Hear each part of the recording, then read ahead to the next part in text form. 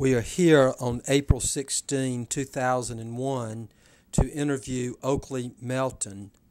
The interview is being conducted as part of the Oral History Project of the United States District Court for the Middle District of Alabama, a court before which Mr. Melton has practiced with distinction for 50 years. The interview of Mr. Melton is being conducted in his Montgomery office. Jim Williams, who is an attorney practicing law primarily in Montgomery County, Alabama, and who is one of Mr. Melton's law partners, is conducting the interview. Good afternoon. Uh, Oakley, I think we want to start out uh, in this interview, and maybe if you could just tell us a little bit about your family, uh, grandparents, your parents, and uh, some of your most influential relatives. Well, I was born over in uh, Carrville in uh, East Tallassee, Alabama, in Tallapoosa County. In my grandfather's home there, he was the mayor of Carrville. And then I moved to Wetumpka, Alabama at the early age of probably two years old, where my father was a practicing lawyer there in uh, Wetumpka and later became a uh, what they then called the inferior court or the county court. He became the judge of that court and then subsequently became a circuit judge for the 19th Judicial Circuit, which covered Elmore, Autauga, and Chilton counties and uh, he presided over that circuit for 28 years. And while he was the judge, I was in college and law school and uh, home for summer one year, so he appointed me as a bailiff of the Circuit Court of Chilton County. And while serving as bailiff, uh, it just so happened that there was a juror named Ben Studdard who was on the jury and his daughter came to pick him up for uh, lunch one day and uh, I spotted her and I was uh, in law school then and she happened to be a student at the University of Alabama and that's where I met my wife at the courthouse in Chilton County, Alabama. So I grew up and was educated in the uh, public schools of Elmore County, Wetumpka, Alabama. Then graduated there from high school after being the youngest high school coach in the United States. At the age of 16, I broke my uh, shoulder, dislocated my shoulder in the last football game of the year. So it was during the war. The uh, high school couldn't get a couldn't get a high school coach to coach the basketball team. So since I couldn't play basketball with my dislocated shoulder, the principal of the school came in. It was during the war. We'd lost our coach to the service, military service and asked me if I would be the coach. So I was honored and delighted to do so. And at the age of 16, I became the young, youngest high school basketball coach in the United States. And uh, Associated Press uh, wrote it up, sent it all over the world, and we got articles sent back from everywhere the military people from Wetumpka were serving, uh, announcing that Wetumpka had the youngest high school coach in the United States. Had a great season, won 18 and lost seven. Uh, tell us about some other experiences you had growing up in uh, Elmore County as a child attending school uh, there. Well, it was pretty typical. Uh, my mother was a first grade teacher. Taught she taught there for 30 years in the public school in Hornburg Memorial School, and uh, so we'd go to school there every day. Walk to school. We were real close to the school itself and uh, I, I, went through the public schools and she uh, she taught people. I still meet people today who say your mother taught me in the first grade. You don't ever forget your first grade teacher. What about uh, your brother uh, Bimbo? I know he was an athlete too. Can you tell us about? Yeah, Bimbo, my younger brother. He was born on April Fool's Day, 1930. So we can always remember his birthday and his age by just taking whatever year it is and subtracting April Fool's Day 1930 from it. He was a, quite an outstanding uh, high school athlete, and uh, when he graduated from high school, he had offers from Georgia Tech and Auburn and University of Alabama and University of Florida, different schools, and elected to go to the University of Alabama, where my father had graduated from law school back in the early 1920s. and he became a star halfback for the University of Alabama Crimson Tide. He played in the first uh, Alabama Auburn freshman game when it resumed the series between Alabama and Auburn in 1948. Before the varsity teams played the first game, uh, he played in the freshman game that year between Alabama and Auburn. Back then, the freshmen didn't play on the varsity. They had a separate freshman team, and they had a separate freshman schedule. And he played in that first game in 48, and then was a uh, starting halfback in 49, 50, and 51. That series was canceled in 1907 because they had uh, had some confusion after the game. Alabama and Auburn played, and the game ended in a 0-0 tie. So after the game, Judge Truman Hobbs, his father, was uh, the center for the University of Alabama. And one of his best friends was a defensive lineman for Auburn. And so after the game was over and ended in a 0 0 tie, uh, Judge Hobbs's uh, father's friend grabbed the football and was going to run off the field with it as a souvenir. Judge Hobbs's father didn't think much of that, so he started running after him to tackle him and try to take the ball away from him. They were just really playing with each other, and sort of horseplay, because they were very good friends. And they, the crowd, though, thought they were fighting. So it got the crowd pretty well upset, and they had some riots and violence in the uh, stadium, and it got out of hand. So they canceled the game and stopped playing in 1907 and did not resume the series again until 1948 when the legislature and public alumni from both schools were demanding that they start playing again. And so I was a student at the University of Alabama in 1948 when it resu- uh, resumed the series and very active in the Student Government Association up there. I later became uh, served as president of the Student Government Association. So we uh, started all this Alabama Auburn good relations programs and try to prevent riots and fighting and raids from one student body to the other and things like that. So we started going to the game in 1948 and I started going every year. And about uh, 20 years ago, I realized that I hadn't missed an Alabama Auburn game at that time in, in 40 years. So I formed this uh, club. We call it the Alabama Auburn Perfect Attendance Club. And anybody that hadn't missed a game since the series resumed in 1948 is automatically eligible for membership in my club. We call it APAC, Alabama Auburn Perfect Attendance Club. The acronym is APAC. And uh, we meet uh, periodically, and uh, doesn't matter whether you're from Auburn or Alabama, as long as you have perfect attendance at all the games since 1948.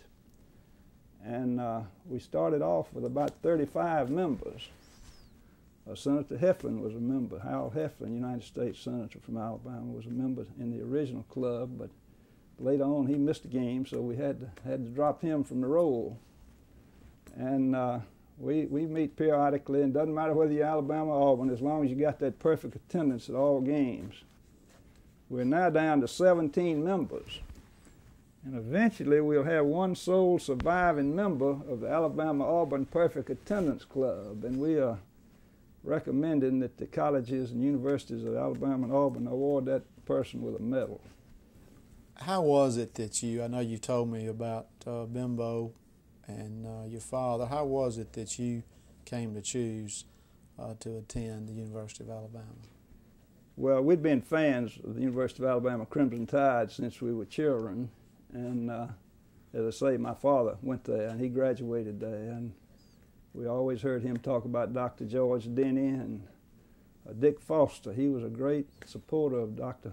Foster, who had a, a, premature death. He was a great president of the university, but he didn't live long and didn't serve long. And so we always heard about the University of Alabama, and it was just sort of normal and accepted that that's where I would go. Did you attend uh, uh, activities as football games uh, prior to going to the University of Alabama? Yes. Dad used to take us to the games, and uh, and when I was in the Navy, I came home one weekend on a leave, and uh, Alabama was playing Tennessee in Birmingham, and I didn't have a ticket. But I decided I'd go up there anyway and see if I could get in to see the game. And I ran into an old college friend from Tuscaloosa, George Shirley, who gave me a ticket, and I got to see the game. When you were uh, at the University of Alabama, uh, what was your major or course of study while you were there? I went one quarter uh, during the war, and I graduated from high school in 1944. They let me skip the 11th grade. I went from the 10th grade to the 12th grade so I could graduate from high school before I had to go into the military service. And when I got out of high school, I was able to go to the university for one quarter, uh, the summer of 1944. And uh, that was quite an interesting quarter because back then all the men and the boys were in, in the military service. And I think we had about 10 girls to every one boy on campus.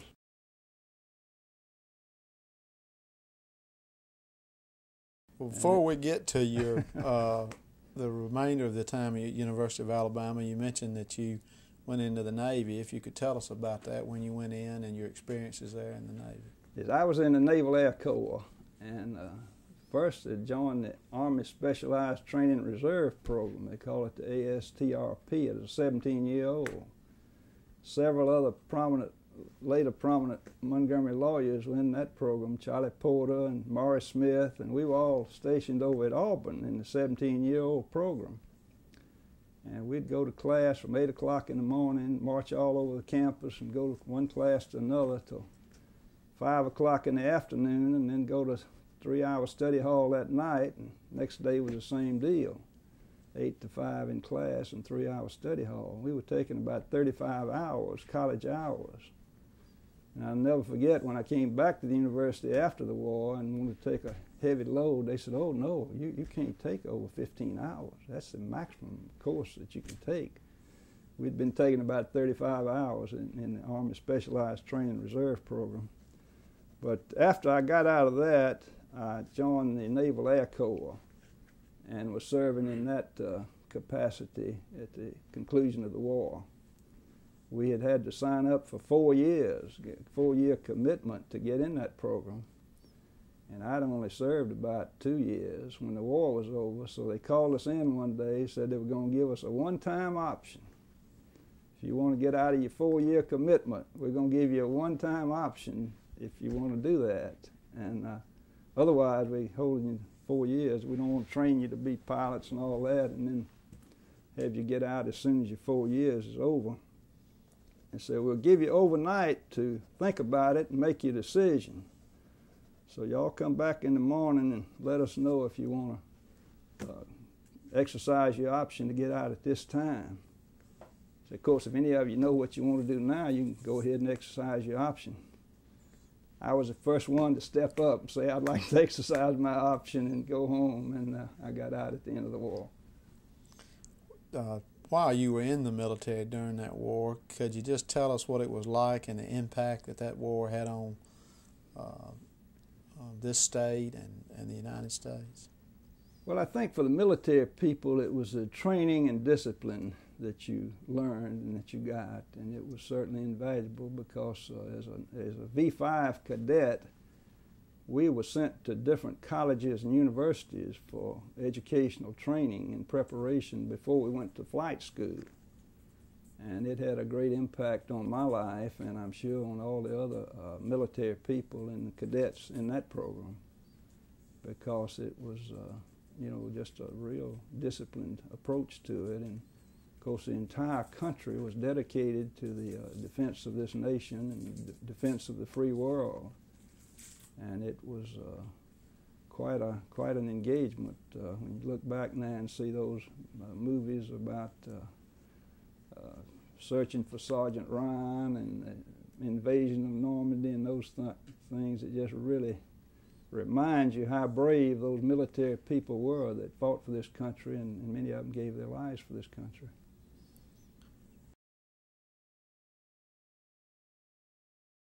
When did you return to the University of Alabama? Came back in 1946, and it was so different when I got back because all the veterans were coming back uh, from the war and had the GI Bill of Rights, and everybody had their education paid for by the government, those who had served in the military. And that was such a contrast when, when I was there for that one quarter in 1944 during the war because the uh, classes were all full and the fraternities were all full of members and they had different age groups. Some of the guys that had uh, gone to college a year or so before the war, you had all the way from the 17 year old high school students who graduated up to the some of them 30, 35 years old uh, that you were coming back for their complete their education that was interrupted when they had to go into the military service. What sort of uh, course of study did you begin when you came back to Alabama? I went to the Commerce School and took a course in business administration and uh, uh, account, with a major in accounting. And, and, back then they let us take our last year in uh, the Commerce School as the first year in law school, so you could have a combination degree. Couldn't do that anymore, but uh, I got a BS degree in uh, commerce by going three years and then one year in law school. And then I went on to finish in law school in uh, 1951. When did you decide that uh, you wanted to attend law school? Well, I guess I always knew that because, as say, my father was a circuit judge, and I was always interested in the law, and uh, thought back then maybe I'd like to be an FBI agent. But uh, then, when I got on into the law school, decided I'd really like to go into private practice, and then went through the law school and graduated, and, and came to Montgomery in 1951 uh, while you were in college and then also in law school at the University of Alabama, what other activities other than just uh, studying uh, did you do while you were there? Well, I was very active in the Student Government Association and all campus activities of various kinds. I was president of my college fraternity, Kappa Alpha Order, and then I got into the Student Government Association work and uh, was elected as vice president of the student body and then the president had a heart condition develop, so he had to drop out of school. So I moved up to president and served as president of the Student Government Association in 1950 and 51. And that was very interesting uh, service back then and very active. We uh, could tell a lot of stories about the activities that went on as, as students at the University of Alabama. Um, Talking about law school for a minute, did you continue with extracurricular activities in law school and uh, other things other than just studying the law? Yes, I say though, my main outside extracurricular activities, even while I was in law school, was student government. And we had a lot of programs and activities that we uh, promoted and started the uh, what they call A Day up there, and it uh, brought a lot of activities on campus and had a lot of extracurricular work. What about uh, while you were in law school? Did you have any professors that were influential on you that uh, still are today? Yeah, two in particular, I guess, influenced me quite a bit. One was, of course, Dean Leigh Harrison. He was, uh, at that time, just a teacher. Dean Hepburn was the dean of the law school when I first started. But uh, Dean Harrison was a teacher that taught the pleading and practice. And he was, the, uh, I guess, one of the best legal minds I have ever known or seen. And he taught us uh, Alabama pleading and practice. He was so good that uh, some of the uh, smart students tape recorded his lectures.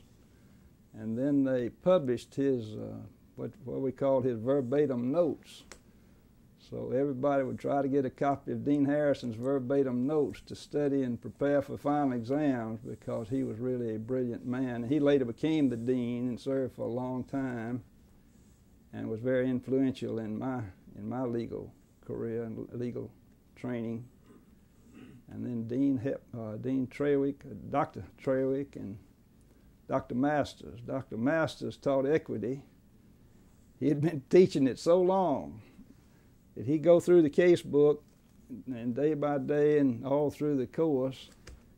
And on the last day of the course, at the last minute in the last class, he would finish the last case in the book. he had it down to a science and had it timed very well. He was a great teacher too. We had some good teachers. While you were in law school, what uh, friends did you have that have gone on to be uh, lawyers and colleagues of yours throughout the years? That was one, I think, great advantage of going to undergraduate and law school at, at an in state university like the University of Alabama because you make friends there that, that stay with you through a lifetime.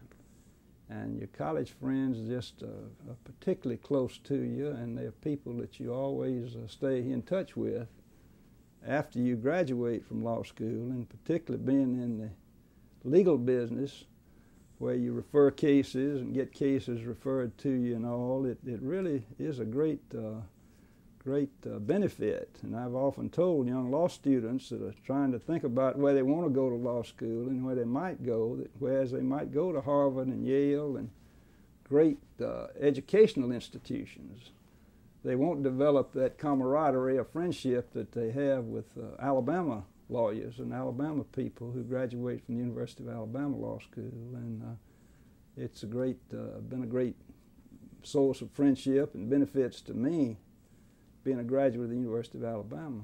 And of course, at that time, that was the only law school in the state of Alabama. Later on, we got uh, Cumberland and Jones Law School here in uh, Montgomery, and uh, different uh, other law schools, but at that time that was the law school, and we had the diploma privilege.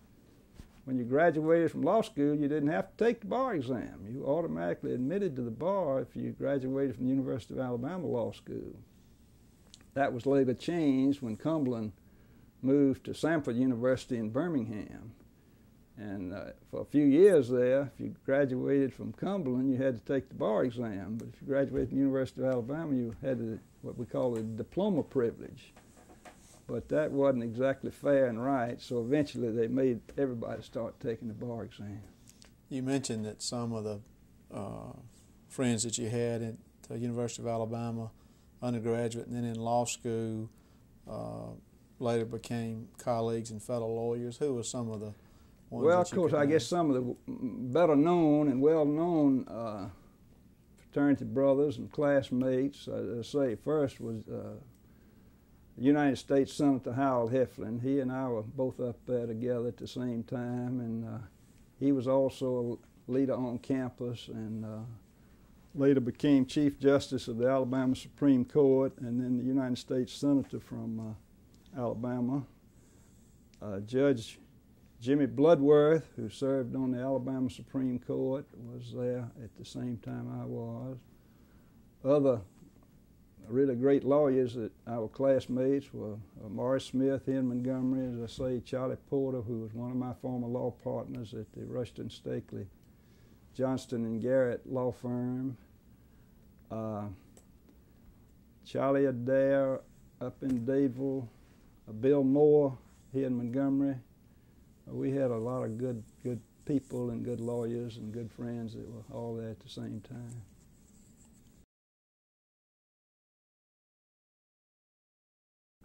After you uh, completed law school, uh, you mentioned that it wasn't necessary to take the bar exam.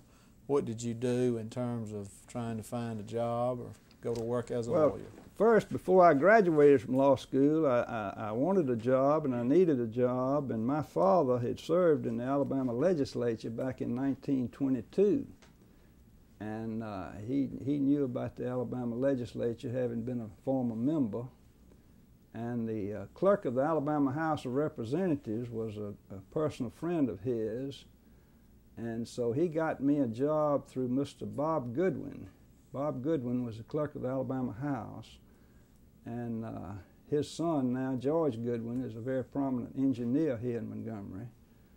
Uh, he got me a job as reading clerk in the House of Representatives, Alabama House of Representatives, and the session started in uh, January before I was graduating in May.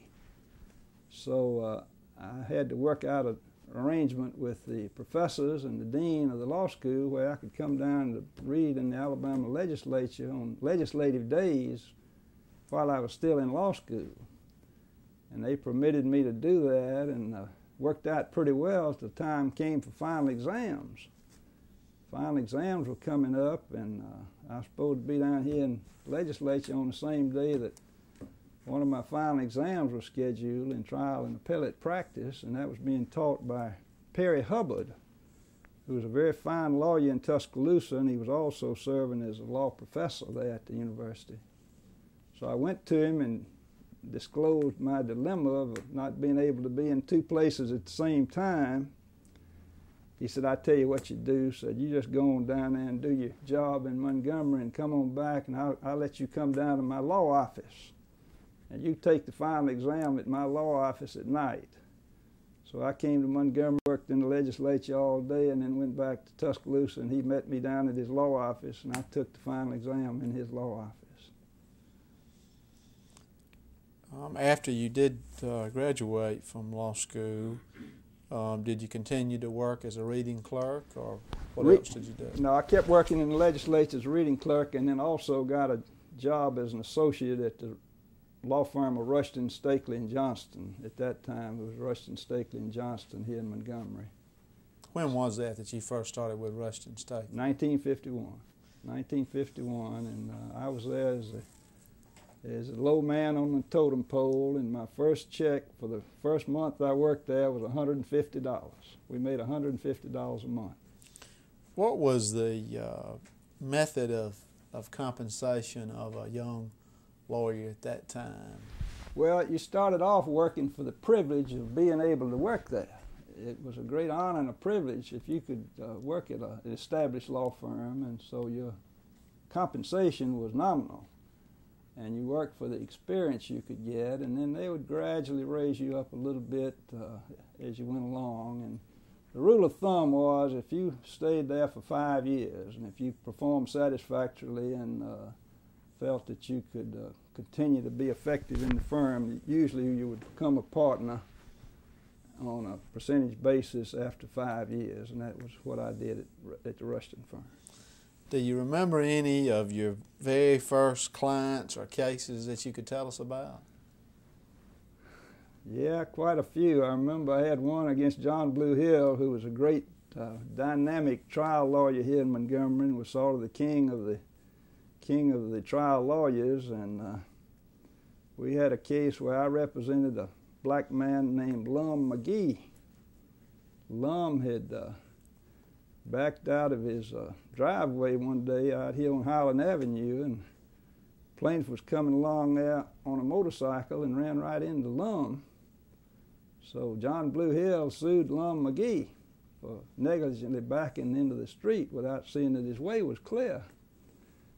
And so we tried the case, and Lum was just one of these good old fellas that everybody couldn't help but like him. The other guy was a little arrogant riding that motorcycle with his black jacket and helmet all on, and so we tried the case, and I'll always remember we were trying it over in the old Masonic building while the new courthouse was being constructed, and the walls were pretty thin over there, so we could hear the jury deliberating in the jury room. And uh, all the lawyers and the judge and everybody else would sort of ease up there and eavesdrop on what the jury was saying, how they were deliberating. And we heard, heard one of the uh, jurors say, "Well, nobody in on the witness stand put that car out in the middle of the road, but John Blue Hill said he's the only one that put it out there." So they they rendered a verdict in favor of uh, my client, Lum McGee, and we always had a lot of fun kidding John Blue Hill about that case. What was it like for uh, just sort of the daily routine of of uh, a lawyer at that time, just starting out at a firm like Rushton Stakely? Well, we would get all of the uh, cases that nobody else wanted to uh, handle. A lot of a lot of what they called back in those days subrogation cases, where insurance companies had settled up under deductible policies with uh, their insureds.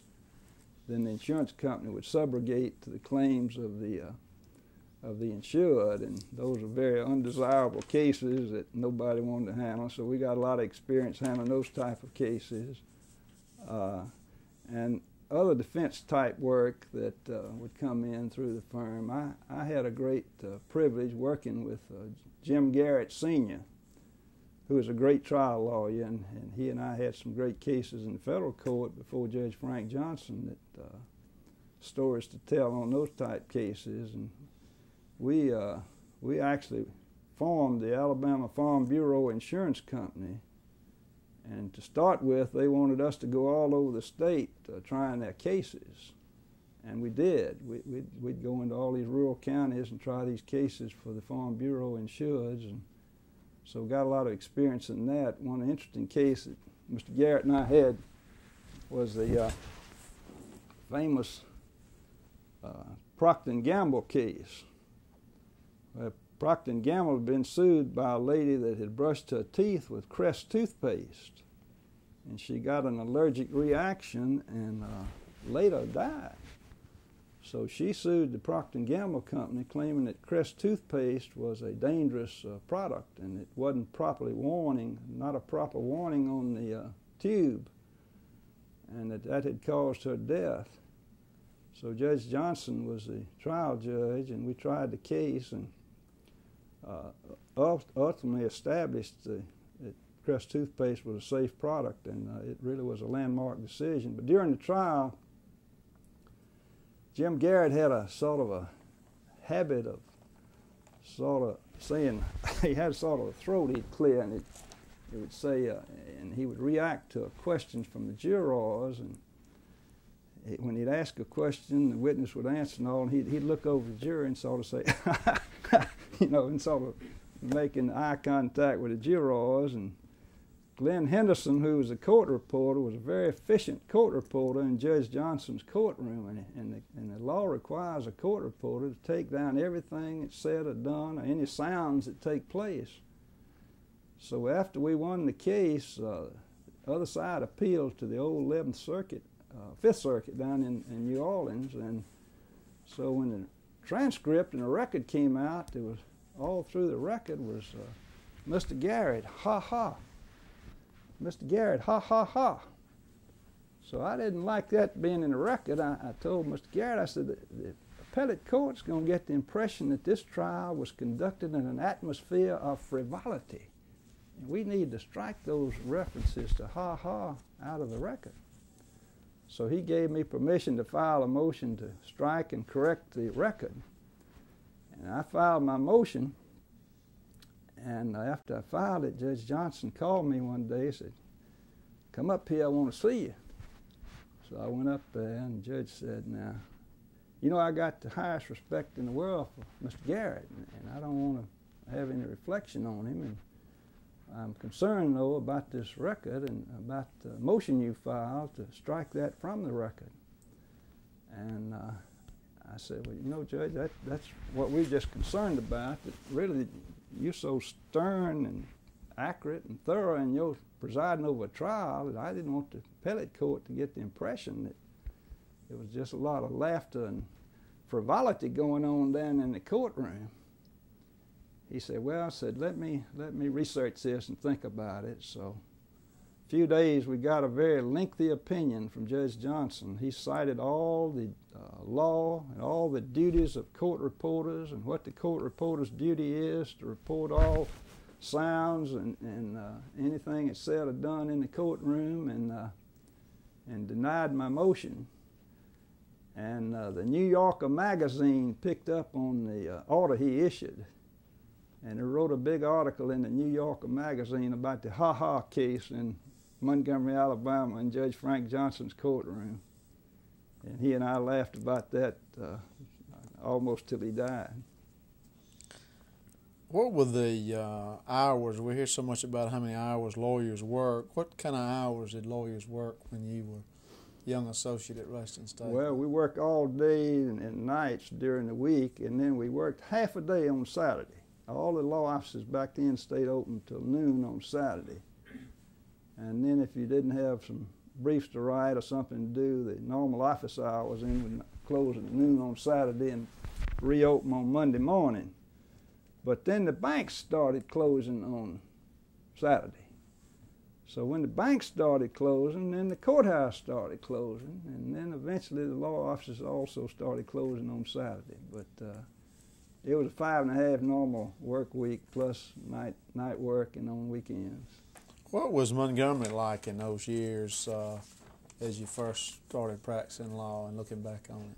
No air conditioning. That's that's That's the one thing I can vividly remember because we were up in the Bell building on the 12th floor and had fans in all the offices and opened the windows for any kind of breeze you could get. But uh, manual typewriters had everything by carbon copy, uh, carbon paper, and no air conditioning. And I'll never forget when I later served as clerk of the House of Representatives, they had the uh, famous Alabama reapportionment case in the federal court where Chuck Morgan and David Vann and some of the uh, plaintiffs' lawyers in Birmingham had brought this lawsuit to reapportion the Alabama legislature.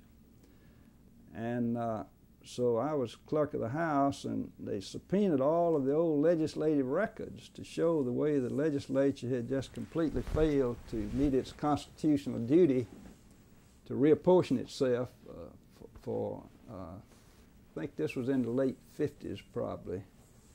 And uh, since the 1901 Constitution had ordered that it be reapportioned every 10 years, but they just never gotten around to doing it.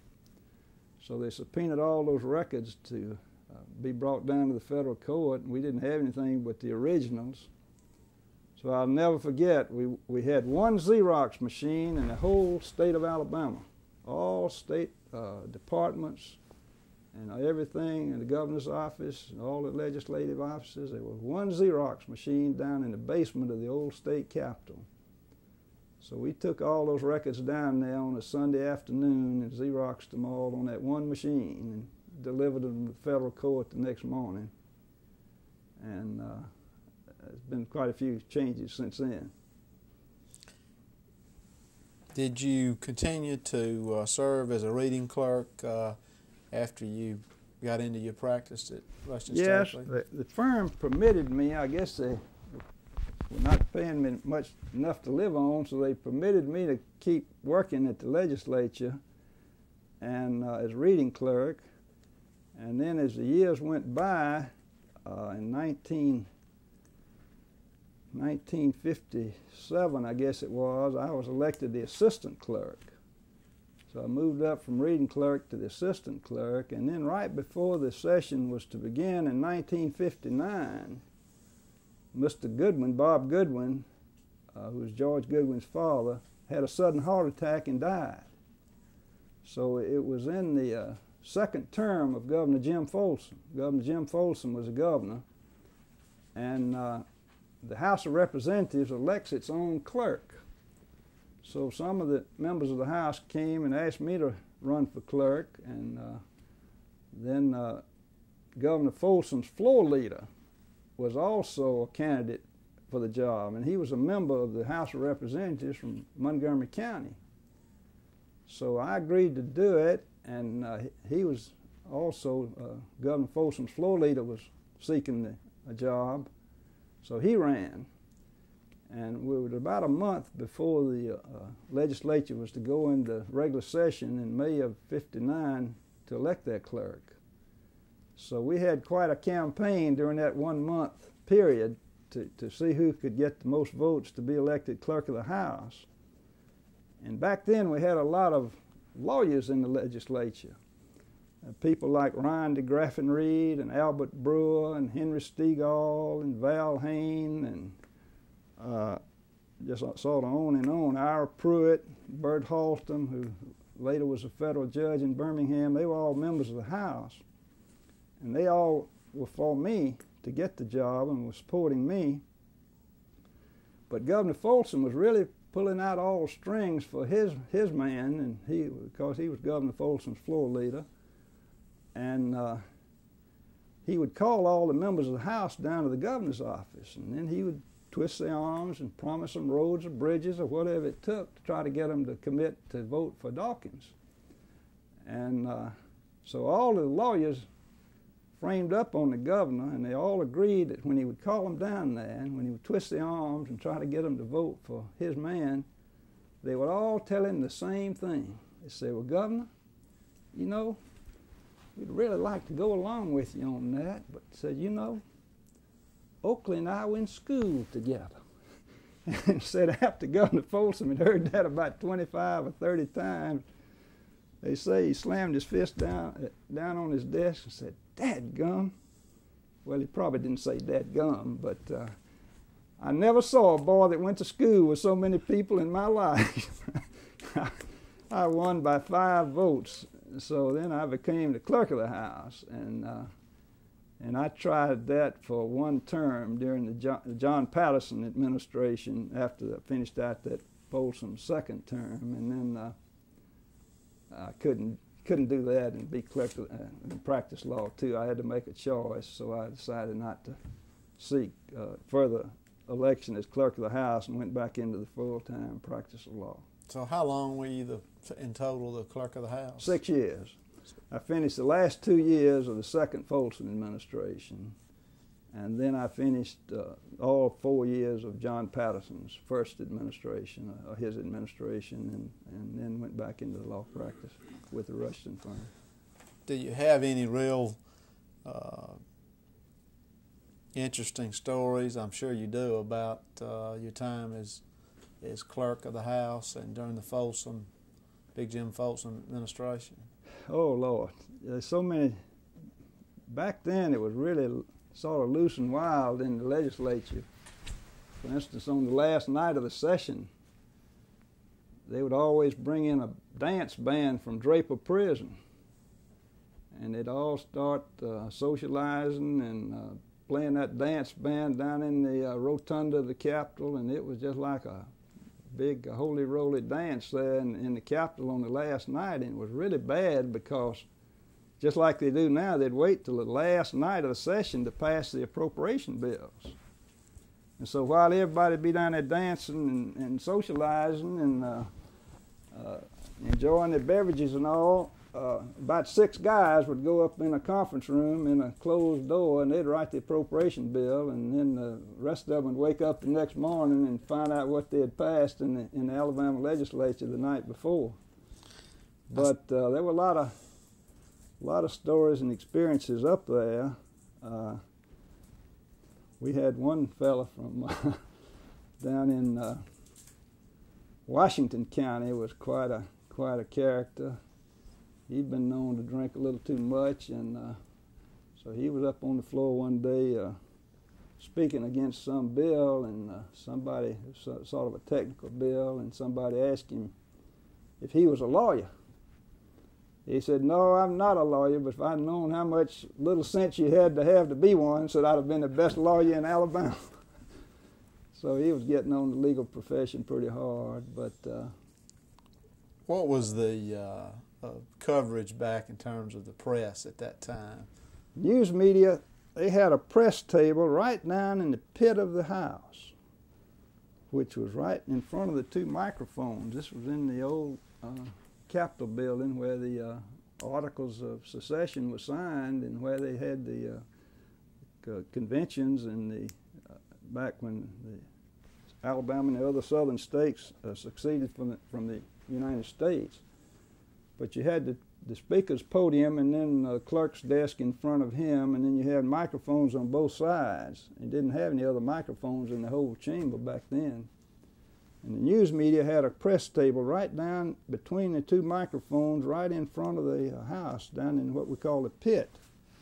And all the newspaper reporters would sit right there in, in, in the middle of the in the middle of the house, and uh, they were they were right there and would cover everything was said or done, and uh, had uh, had some pretty uh, pretty controversial reporters back in those days. People like Hugh Sparrow. had an Englishman over here named Jeffrey Burt, who was a reporter for the Montgomery Advertiser, and he was very controversial and write a lot of uh, what a lot of the public officials considered bad news about what they were doing and all, and uh, they uh, they some of them didn't like Mr. Sparrow and Mr. Burt too well because they they wrote a lot of critical editorials and articles about what was going on. Probably a lot of it was well deserved. What about the difference between now what you see with the press coverage and then what you mentioned about the last day of the session? That uh, was certain things that were off limits? Yeah. Or? Well, I think what has cleaned it up a good bit is television. I was clerk of the house, and back then I, I was the one under the law. The clerk of the house has control of the chamber, and so the TV stations, Channel 12 at that time, they called it WSFA TV, was the only TV station in Montgomery. And they came up there and wanted to televise the actual debates on the floor of the House. And uh, that was pretty revolutionary because uh, a lot of the members didn't, didn't want that to happen. Uh, but uh, I, I joined with the television people, and the Senate just absolutely wasn't going to permit it to be done in the state Senate. That was just that was just a no-no as far as they were concerned. But after I permitted the uh, TV station to televise the debates in the House, then the senators started getting jealous because the House members were getting on TV, and they were their constituents were able to see them on TV. So eventually, the Senate came around too, and they started televising the uh, debates in the uh, in the House and the Senate, and that has done a lot, I think, to clean up a lot of the uh, horseplay and eating peanuts and throwing the shells and everything down on the on the floors and everything that used to go on. It, it's cleaned it up a lot. Your law practice at Rushton Stakely, did you begin to uh, work in a particular area or specialty as you continued there as an associate at Rushton Stakely? Trial work. Uh, we sort of had a trial division in the firm composed of uh, Jim Garrett Sr., he was head of our trial uh, division, and Bill Moore and Charlie Porter and I were the four primary trial lawyers in the firm. And we tried cases all over the, all over the state of Alabama. Did you uh, continue at Rushton Stakely and become a partner in that law firm? Yes. yes. And when did you first become a partner at that well, firm? after five years, I started in 51, so I became a partner in 1956, and then stayed about seven more years as a, as a practicing partner. And then my father retired as a circuit judge over in Elmore and Autauga and Chilton counties, so I decided to open my own law office and have him serve as of counsel. So I did that for two years, and then uh, Sam Rice Baker, who was a partner in the Montgomery firm of Steiner, Crum, and Baker, died. So they invited me to join that firm, sort of take his place, and I did that for about two or three years, and then reopened my own office after that when you were at Rushton Stakely in the in the trial practice, um, who were the lawyers at that time? Other that were other trial lawyers practicing in this area that you went up against and had cases with. Well, as I say, the, the main plaintiffs' lawyers were John Blue Hill and John Harris. They were in the firm of Hill, Hill, Whiting, and Harris, and joke around town was they called them Hill, Hill, Thunder, and Lightning and they were very effective, very dynamic uh, plaintiffs' lawyers as well as uh, defense lawyers, criminal defense lawyers. And they, they would handle all the big criminal defense cases in Montgomery and then a, a lot of the plaintiffs' cases. Uh, other great law firms that began back at that time were, were everybody, of course, remembers Godbold and Hobbs they were two outstanding lawyers that uh, formed their own firm. They were originally with Judge Dick Rives, and before he became a federal judge, it was uh, uh, Rives and, and Godbold and Hobbs.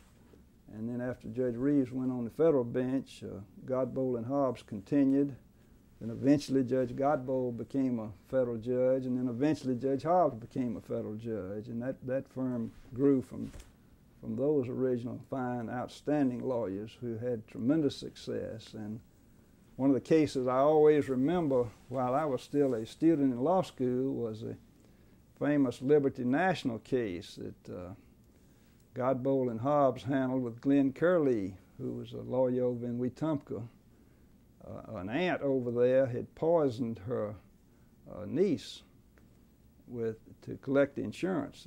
It insured the little child's life, and uh, so she poisoned the child, and her name was Dennison.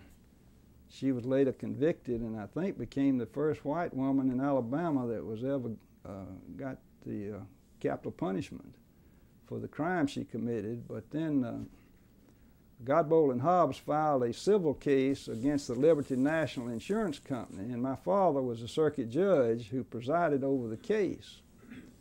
And they went to trial up there and sued Liberty National on the grounds that uh, the uh, aunt did not have an insurable interest. It was actually her niece in law. She wasn't an actual uh, blood niece relative. So they sued the Liberty National on the grounds they didn't have an insurable interest. The aunt didn't have an insurable interest in the niece, and therefore it approximately caused and contributed the uh, murder of the child. So it was a highly publicized trial all over the all over the state and all over the nation, I guess. And they tried the case, and I'll never forget at the conclusion of the case, the jury gave a verdict for seventy-five thousand dollars. That was just an unheard of verdict at that time. And the case went all the way to the Alabama Supreme Court, and uh, Judge Thomas Lawson, who is the father of Tommy Lawson here, a very fine, prominent lawyer here in Montgomery, wrote the opinion for the Alabama Supreme Court and affirmed the uh, verdict and judgment of the Circuit Court of Elmore County. That was a very prominent, interesting case. You mentioned some of the lawyers that were the prominent trial lawyers at the time. Did you have uh, what we call some characters uh, that were lawyers at that time? Oh well, you can just think of a, a, a lot of them. One one that we always liked to uh, kid was Archie Reed. Archie Reed. He was a big prominent lawyer here in town and. Uh, didn't worry too much about preparing his cases too much, and I'll never forget one time uh, we had a case against him in the old courthouse, and he had an elderly black man for his plaintiff uh, in the case, and we had made him a settlement offer of three thousand dollars to settle his case. And we heard Archie out in the hall talking to his client. He said, Samuel, they have made us a settlement offer. Is that right, Mr. Reed? Yes, sir, they've made us a settlement offer. What is that, Mr. Reed? Well, they've offered us $1,500 for you and $1,500 for me. what do you think? What do you want to do about it? so Samuel said he thought he'd take that settlement offer, and we settled the case. Uh, what about? Uh, I've heard stories that you've told before about Sam Rice Baker. Wasn't he a character, trial lawyer at that time? Sam Rice uh, was a quite a character. He was very smart and very effective, and he, he, he would just get under John Blue Hill's skin no end. John Blue was a very efficient, tense type fella and would just uh, get all wrapped up in his cases and uh, carried away. And so one of Sam Rice's secret weapons was anytime he and John Blue would have a big case, right before the closing arguments in the case, Sam Rice would get to drinking, and having a big time, and very relaxed, and getting ready to argue the final case. And he'd wait about one or two o'clock at night, and then he'd call John Blue up and, and wake him up so he couldn't sleep the rest of the night and get him all upset and nervous and uh, try to make him mess up his closing argument. But uh, Sam Rice uh, could tell a lot of stories about his, his battles with John Blue Hill. What, uh, as you continued to practice with Rushton Stakely, uh, did you um, have certain clients or certain areas that you began to practice more in? Yes, we we represent a lot of insurance companies and did a lot of uh, defense work for different insurance companies. A lot of a lot of skid mark cases and automobile liability cases, and uh, would go around trying those cases. Really, as I say, all over the state. So that's sort of where we got our trial experience. Any specific cases that, as you look back on it now, uh, during those years, that were uh, seem now to be especially important in terms of what's happened over the period of time? Well, one of the big ones, I just carried the books and did some of the research for Colonel Rushton, was the famous Henderson will case. Governor Henderson, who grew up and lived in Pike County, Alabama, uh, was governor of Alabama and he had made uh, money and had a lot of land and property down in Pike County. And his will left uh, quite a bit of his estate to some hospitals down there and, and, the public schools of Pike County and all. So some of his heirs and next of kin contested the will, and they uh, they made a strong attack on the validity of the will, and uh, we were able to ultimately uphold the validity of the will and get all that uh, estate distributed to those hospitals and and public schools in Pike County. After the basic case, the underlying case was disposed of, then the plaintiff's lawyers came in and filed a petition for an attorney's fee. And that got to be a big, uh, big case also. Their theory was that even though they had lost the case, that by bringing the case, they had established, they had contributed to the establishment of the validity of the trust and of the estate, and therefore they had benefited the trust and the estate, and that they should be entitled to an attorney's fee. Well, we went all the way through that case again, and uh, eventually, though, uh, those fees were not allowed. I know that uh, you practice, have practiced in front of a number of judges, but who are some of those uh, judges in particular that in those uh, years when you were Rushton Stakely uh, you look back on and uh, and admire and uh, have ref- recollections of? Of course, the state court judges, we only had two Judge Walter B. Jones and Judge Eugene Carter. They were the two original judges when I started. Later on, we, we had some more uh, authorized, and the bench started getting additional circuit judges. Uh, the uh, federal court judges, I guess, had more influence on our legal preparation and ability than anybody, and, and that, course, starts with uh, Judge Frank Johnson, who succeeded Judge uh. Judge Kennamer, when I first started, was the elderly federal judge here in Montgomery, and he was in his uh, declining years. So I think it was about the mid 50s when he retired, and uh, I guess Dwight Eisenhower appointed Judge Frank Johnson as the new federal district judge here in Montgomery. And from that day on, it, it, it, a lot of changes took place, not only in the trial work and the caseload and the preparation of cases in the in the United States District Court for the Middle District of Alabama, but really it just became a series of, of landmark cases and decisions that uh, primarily rendered by Judge Johnson, who had tremendous courage and legal ability and changed the whole way of life, not only in uh, central Alabama and the Middle District, but really in the whole state of Alabama and the whole uh, over the whole South because uh, I mean he had he rendered decisions in the area of education, uh, transportation, public transportation, public accommodations, uh, and not only racial uh, changes took place, but uh, gender changes. Uh, because back when I first started, we lived in a completely segregated society by race, and by gender. I think we had two females in law school when I was in law school. Unheard of for a female to be a judge or even a lawyer. Uh, very few black lawyers and uh, no black judges, of course. And uh, so I participated in and uh, observed 50 years of changes that took place in, uh, in the fabric in, uh, of our society as well as the way of life in, in our state.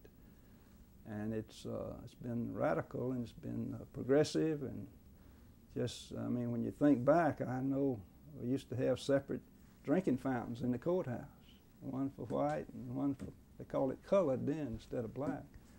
Separate restrooms. Uh, Separate transportation, of course. Blacks had to sit in the backs of the buses, and then you, you started seeing those cases gradually change the way life was lived and the way people and customs that took place, and uh, lunch counters had lunch counter cases. Uh, restaurants, uh, different restaurants would be segregated. And I guess my one of my main cases that involved change of life was uh, in representing the Alabama High School Athletic Association. We had two separate high school athletic associations in those days. One was the white schools, one was the black schools. So, as a part of the famous Lee versus Macon federal court case, which was the main case that uh, integrated the public schools of Alabama. Before that, they'd had individual cases in different counties and different city school systems. But that one was all encompassing for the whole state of Alabama. And then, as a part of that case, uh, the plaintiffs filed, government filed petitions to uh, desegregate the athletic programs in all the high schools of Alabama. So we were involved in the, in the trial of that case, and uh, the ultimate outcome was that the court ordered a merger of the two athletic associations, that they be merged into one athletic association, and all the schools, regardless of whether they are pre- predominantly black or white, be members of the same association. And that uh, we had a lot of other requirements that we had to e- equalize the uh, board of directors, the uh, the coaching staffs in the diff- different schools, and we had what they call a majority to minority rule, so that uh, any student who was in a school, whether it was black or white, where their race was in the majority, could automatically transfer to a school where their race was in the minority, and that would tend to promote and uh, bring about uh, uh, integration of the uh, races within the schools. So uh, that majority to minority rule was in effect for, for many years, and uh, I really think that because the student athletes complied so well with that uh, merger order and the way the coaches and the school principals and school officials and all accepted it, it went a long way toward causing the people of Alabama to accept the integration of the schools because the black athletes were such outstanding athletes that there's just something basic about nature. People love a winner. And when the black athletes could contribute to their school being a winning team or helping their school win games, then they were just totally accepted, and it was it was uh, it, it worked out well in Alabama. And it was a transition period there that we went through, and one of the things we were defending as strongly as we could, the government was trying to get the court to order mandatory scheduling so that the, the black schools would be required by court order to compete with and play the white schools.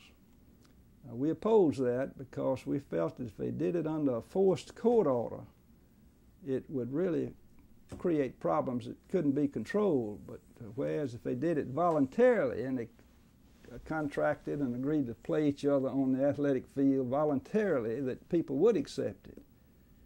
And the court, I think very wisely, declined to order mandatory scheduling. And we used as an uh, example in our argument that, Judge, it'd be just like you ordering the United States Naval Academy to play Grambling College down in Louisiana. And, and the court shouldn't get into dictating or ordering uh, how schools handle their particular schedules.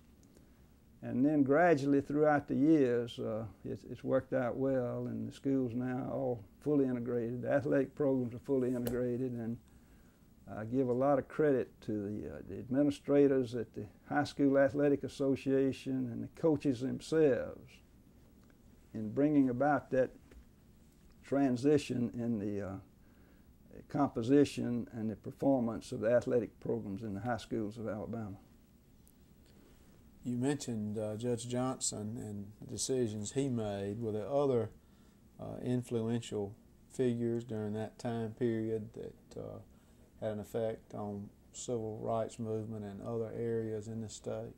Yeah, there were a series of, of those federal judges who, who also joined in those decisions. As I say, people like Judge Dick Rives, uh, Hobart Grooms from uh, Birmingham, Judge Seybourn Lynne, Uh, I think he's the one that handled the famous uh, Autherine Lucy case at the University of Alabama, where the first uh, black to be admitted to the University of Alabama was uh, admitted under court orders, and that's when, when George Wallace made his infamous uh, stand in the schoolhouse door.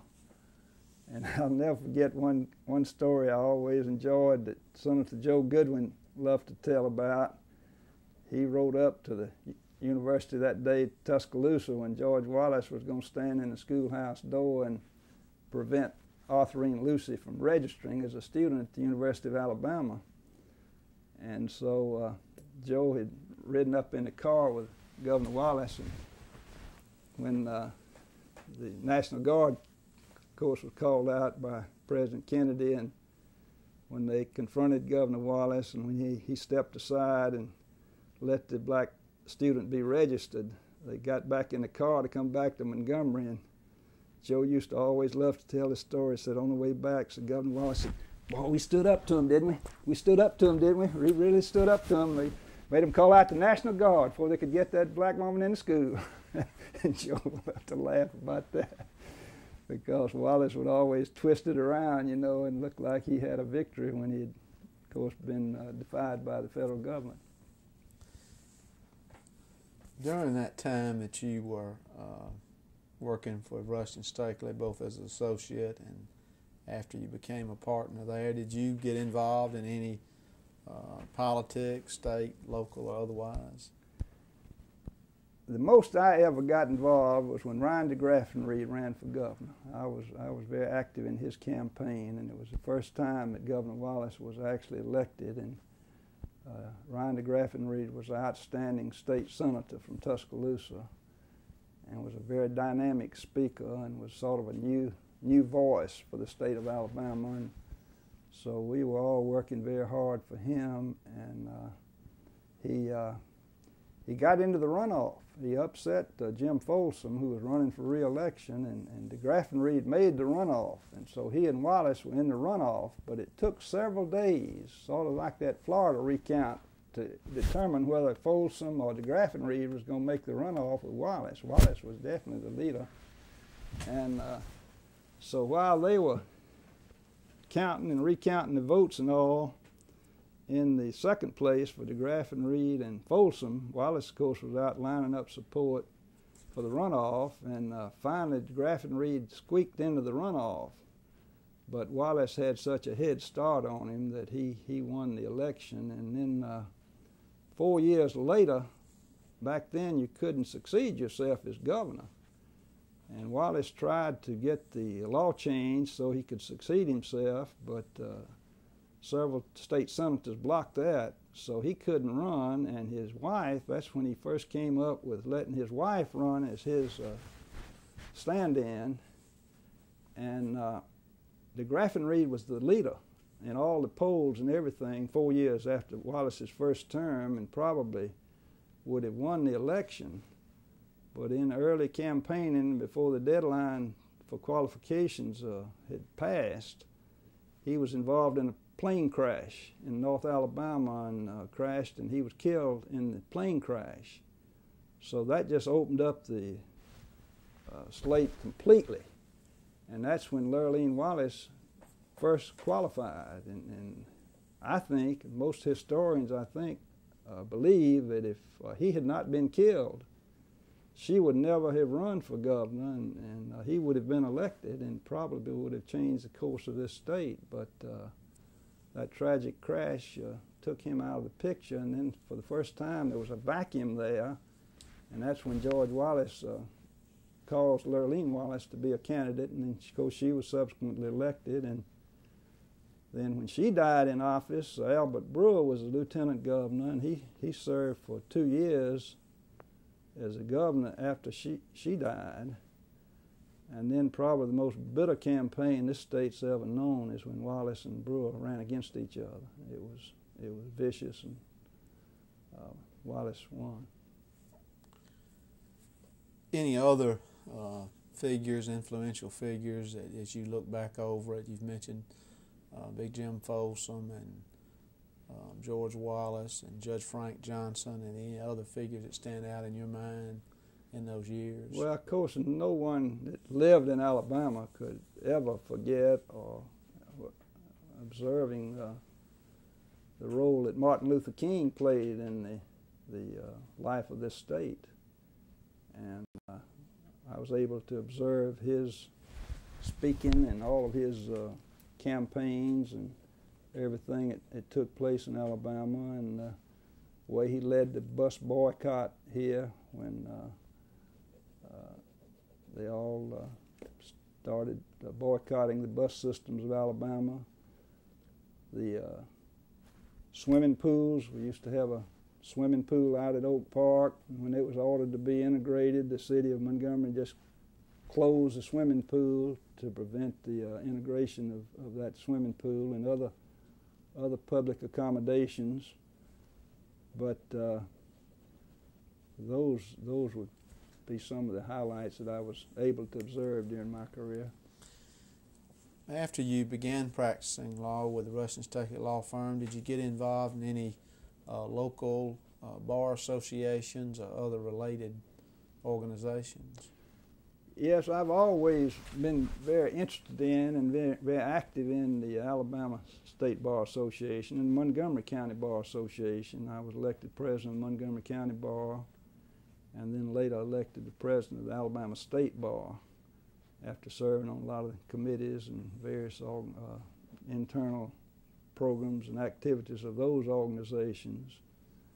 And uh, I was also appointed by Chief Justice Heflin in the Alabama Supreme Court as the first chairman of the Alabama Rules of Civil Procedure. And uh, they appointed a special committee to review and revise and rewrite the Alabama Rules of Civil Procedure. And we had a great committee. I was the chairman and we had law professors, and we had uh, we had uh, lawyers, practicing lawyers, and uh, law professors and judges all on the committee. And we completely researched and worked for about two years, and finally, I believe it was in 1979, we proposed a complete new set of rules of civil practice and procedure for the state of Alabama.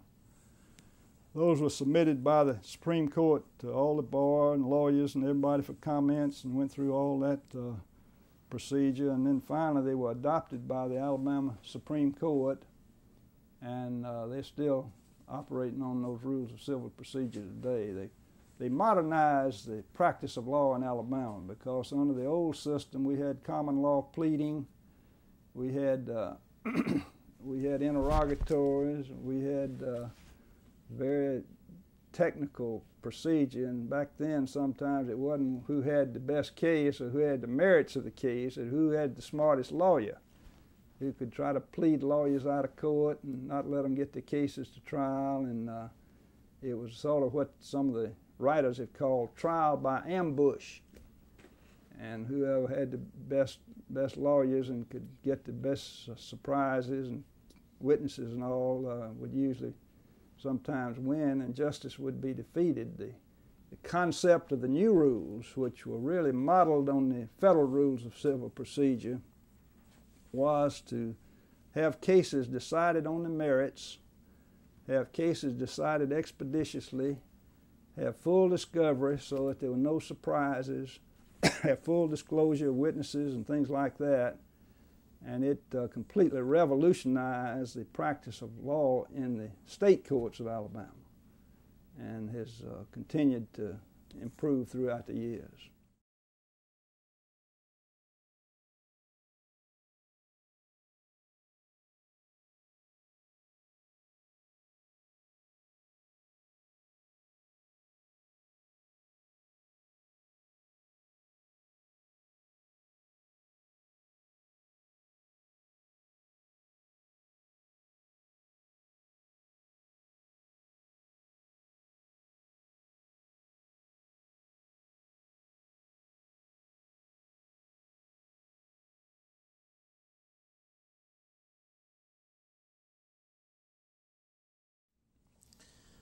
Earlier we were talking about uh, you left uh, Rushton Stakely and went to work, I believe, practicing law with your father.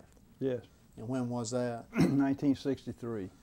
Um, and was that the reason that you left the Rushton Stakely law firm at that time? Yes, And your father, he had been a circuit judge, he was. Yeah, that's right.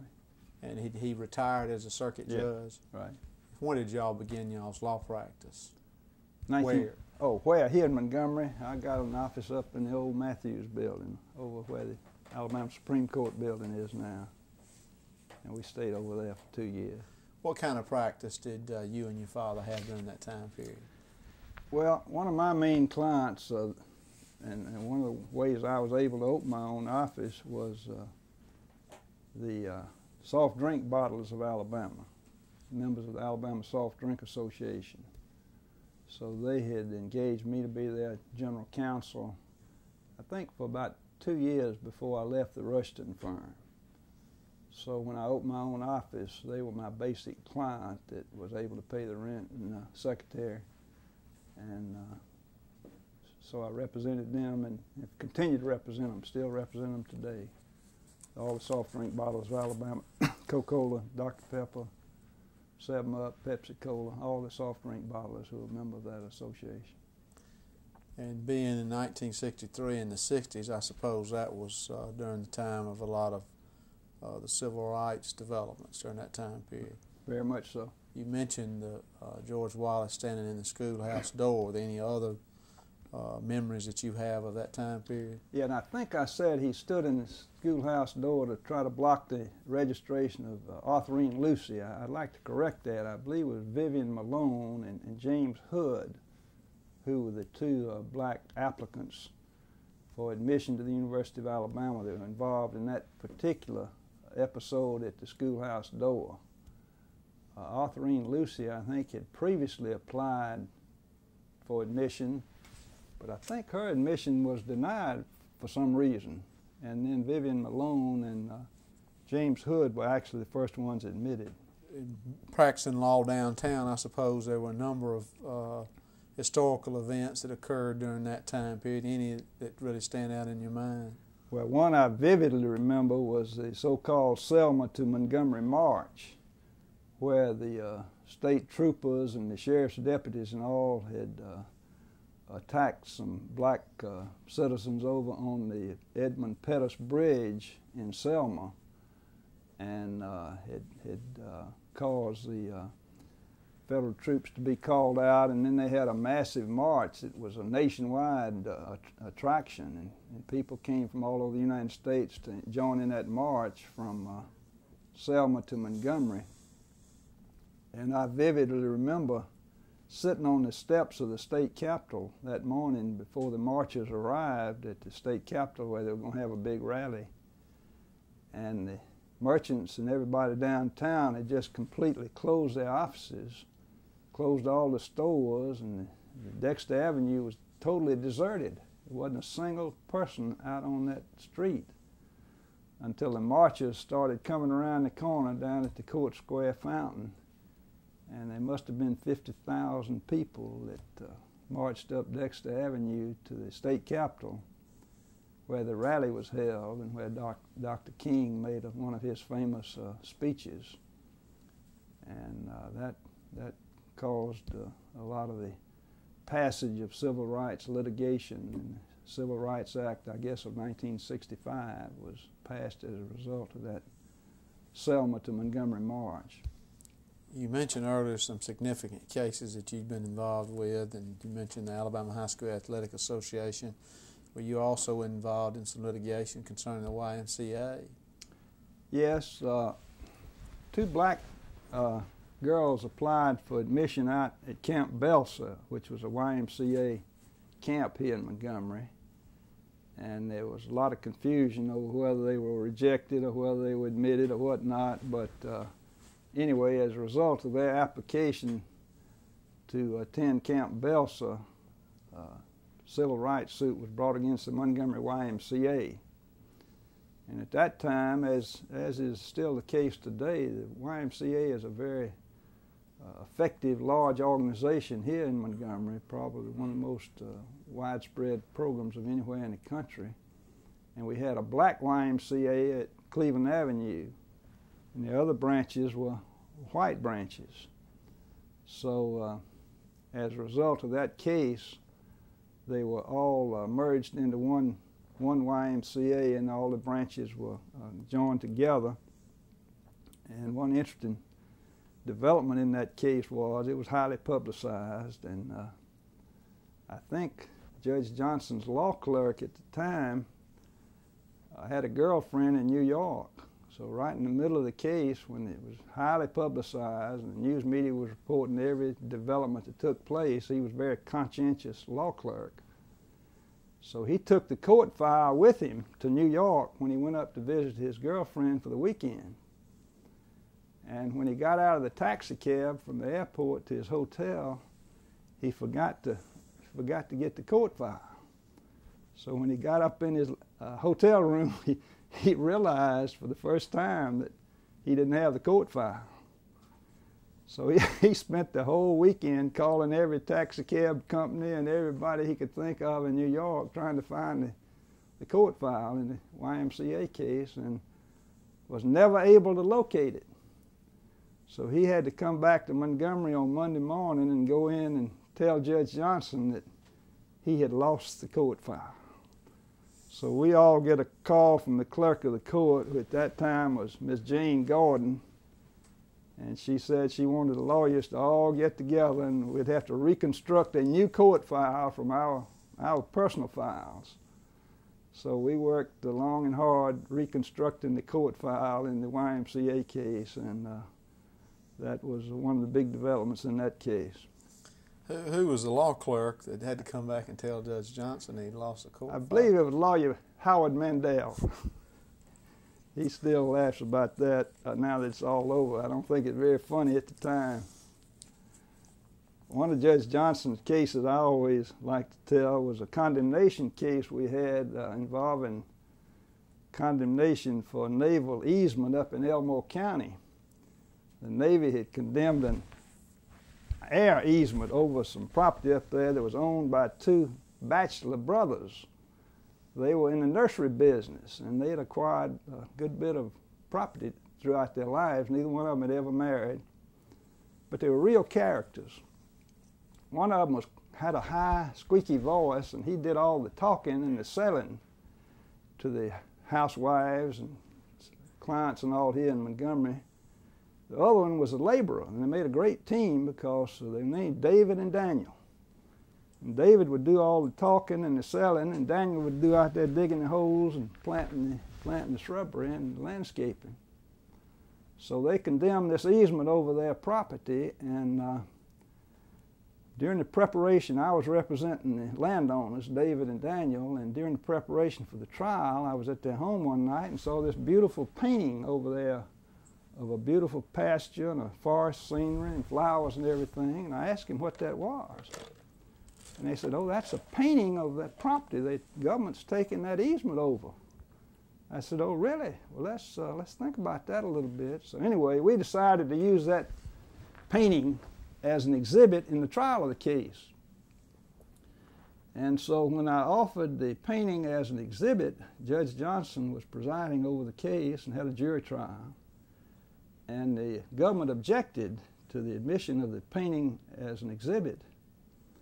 And Judge Johnson just interrupted and he pointed his finger right down at my client who was on the stand. He said, Does that painting truly and accurately portray the subject property? And my client, in his squeaky voice, looked up at Judge Johnson and said, Yes, sir, Judge. That looks just like it. So judge looked back at him and said, All right, I'm going to admit it in evidence. But I want you to know that once that painting goes into evidence, it becomes in the custody and control of the court. David looked back at him. He said, Oh, Judge, please don't take my picture away from me. and the jury just rolled. They, Red Blount was on the jury, and Fred Hardy, and a lot of other prominent businessmen, and they, they, they just nearly fell out of the jury box. So we went ahead and uh, tried the case and got a, got a good verdict and all. And then about two months later, I got a call one day from Judge Johnson. He said, Come up here, I want to see you. So I went up there and uh, he said, Your client David and Daniel came to see me last night. I said, Really? I, I didn't know that, Judge. I, I didn't know anything about it. He said, Well, I know you didn't, but said, When I got home from court, they were sitting on my front porch with a watermelon. They said, Judge, we brought you a watermelon to see if we can get our picture back. the judge said, I've had all kind of things happen in my practice uh, as a judge, but I never had a client offer me a watermelon for, for an exhibit to be returned to the, to the client. But he said, uh, case is all over now. He said, file a motion, file a motion, and we'll see if we can get your picture back for you. but he and I laughed about that case all, all, the, all the time too. He, he was real. Uh, he was a great judge. It just never been been another one like him. And uh, of course, so much has been written and said about Judge Johnson. You you really can't add much to it. But he made you a better lawyer when you went into his courtroom. You, you knew you had to be prepared, and uh, he didn't show any favorites. He followed the law, and was great great influence on uh, a lot of lawyers, including myself and always considered a great privilege to have been able to practice in his court. I guess the three three most prominent names in the 50th uh, 50 years, the last half of the 20th century in Alabama were Judge Frank Johnson and uh, of course Governor Wallace, uh, his role, and then Martin Luther King. And then I'd add two also to that would be Dr. Wernher von Braun, up in Huntsville who invented the uh, rocket and the space uh, spaceships to uh, land on the moon, and then Coach Paul Bear Bryant with his record in the uh, athletic field. Those, uh, I guess, uh, some of the leading characters and leaders that I've been able to observe in my in my practice. After you and your father's uh, practice, I suppose that ended uh, after two years. You indicated earlier. Yes. Yes. And then after that, uh, uh, where did you go to practice? I practiced with Steiner, Crum, and Baker for about two and a half years. I, I took Sam Rice Baker's place in that firm for about two and a half years. And, what uh, sort of work did you do with that law firm and, and what memories do you have of those two and a half years and special cases and other events? That was a special corporate type practice and I, I had assumed there would be a lot of trial work there for the railroads and Alabama Power Company and telephone company and that sort of thing but uh, there's a difference in a trial practice and a corporate practice and uh, I spent a lot of time buying land and passing on real estate titles for the Union Camp Paper Company. They were building this big paper mill over in Prattville. And uh, we spent a lot of time in that type of uh, corporate work representing the paper mill, uh, acquiring that property and building that, building that paper mill in Prattville. One of the biggest uh, land acquisitions, I guess, ever in Alabama was when they bought out the W.T. Smith Lumber Company down in Chapman, Alabama. W.T. Smith was a large lumber company in South Alabama that owned timberland all over South Alabama and North Florida, and, and Union Camp Paper Company bought them out, and we handled, participated in the handling of that acquisition. So then after that, I reopened my own office and got back into trial work. And when, when would that have been that you first, uh, again, reopened your own office? I guess it would have been in the late 60s late mm-hmm. 60s. And where, what location did you begin that practice? Went back to the same building, the Matthews building where I had previously uh, been. Was that uh, 339 Washington Avenue? 339 Washington Avenue. It's on the corner where the uh, Alabama Judicial Building is now located, and we, of course, very much opposed to having to move and sell our building. Didn't want to have the state of Alabama condemn it for the judicial building, so we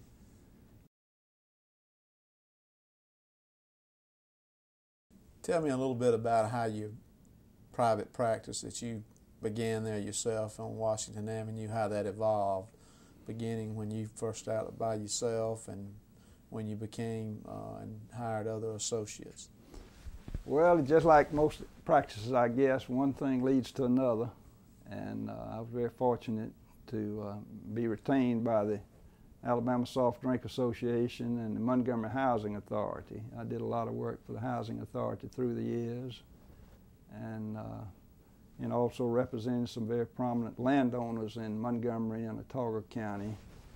I represented Miss Chapel Gray, who was the largest private landowner in Montgomery County after her husband's death and uh, that involved a lot of uh, representation of her individual interest, as well as Don McQueen Smith, who was one of the largest landowners in Autauga County, and uh, he and his family had a lot of business for lawyers. So uh, that that kept me pretty busy. How long was it before you uh, took on an associate or another lawyer to work with you? Well, one day Judge Dick Emmett was driving down the street in his car, and I was walking up the sidewalk, and he stopped his car and he said, "I got a, I got a young lawyer you need to give a job to." So I said, "Oh, really? Who is that, Judge?" He said, "His name is Joe Espy, and he's a good friend of mine. He's been living with me this summer while he was working up in the Alabama State Senate, and I think he'd make you a fine lawyer." So told him I appreciated it, and then ultimately I got in touch with Joe, and he and I uh, joined together and started working together. And then after we'd worked together for a while, uh, you you came along after having served as assistant district attorney, and then this firm has continued to grow from there. Um, were there any cases that uh, stand out that you worked on in your private practice, or you and Joe worked on together uh, in the early years of your private practice? Oh, there were so many. Uh, of course, we had a big case involving the Jim Wilson real estate uh, uh, shopping centers and the, and the Lauder family's shopping centers throughout the years. They had shopping centers all over the southeast, and uh, they had a business divorce that didn't quite work out, so we had a lot of litigation over that uh, over that case. I also represented a lot of cities and counties in uh, civil rights cases, the city of Dothan, the city of Phenix City, and Russell County, where the civil rights reapportionment got involved in, in reapportioning their county commissions and uh, city councils and uh, complying with all the uh, civil rights laws on uh, representation on those kind of public uh, governing bodies. Uh, the city of Dothan involved a personnel case involving the personnel department down there and how they needed to uh, involve more black people in their police department and in their waterworks and different type administrative agencies in the in the city of Dothan. One of the most interesting cases I guess I ever got involved in was the so-called Tuskegee syphilis case. That was a case where some uh, black men over in Macon County were put in a research project back in the early 1930s to uh, see what the effects on them would be of, uh, if you untreated uh, syphilis disease. And uh, my client was the Milbank Bank Foundation in New York, which was a very uh, prominent worldwide uh, foundation that contributed to medical medical research all over the world. And they started making uh, contributions to this research project here in Alabama back in the 30s. And then uh, what happened was the uh, the project kept going on and on, and uh, these these black men were untreated even after penicillin was invented. And penicillin was a known cure for the disease, but nobody ever got around to uh, treating these subjects in the study with the penicillin, which would have cured the disease. And it went on and on for years and years. And Milbank just kept making their contributions without anybody ever asking any questions of why are we making a contribution to this uh, project.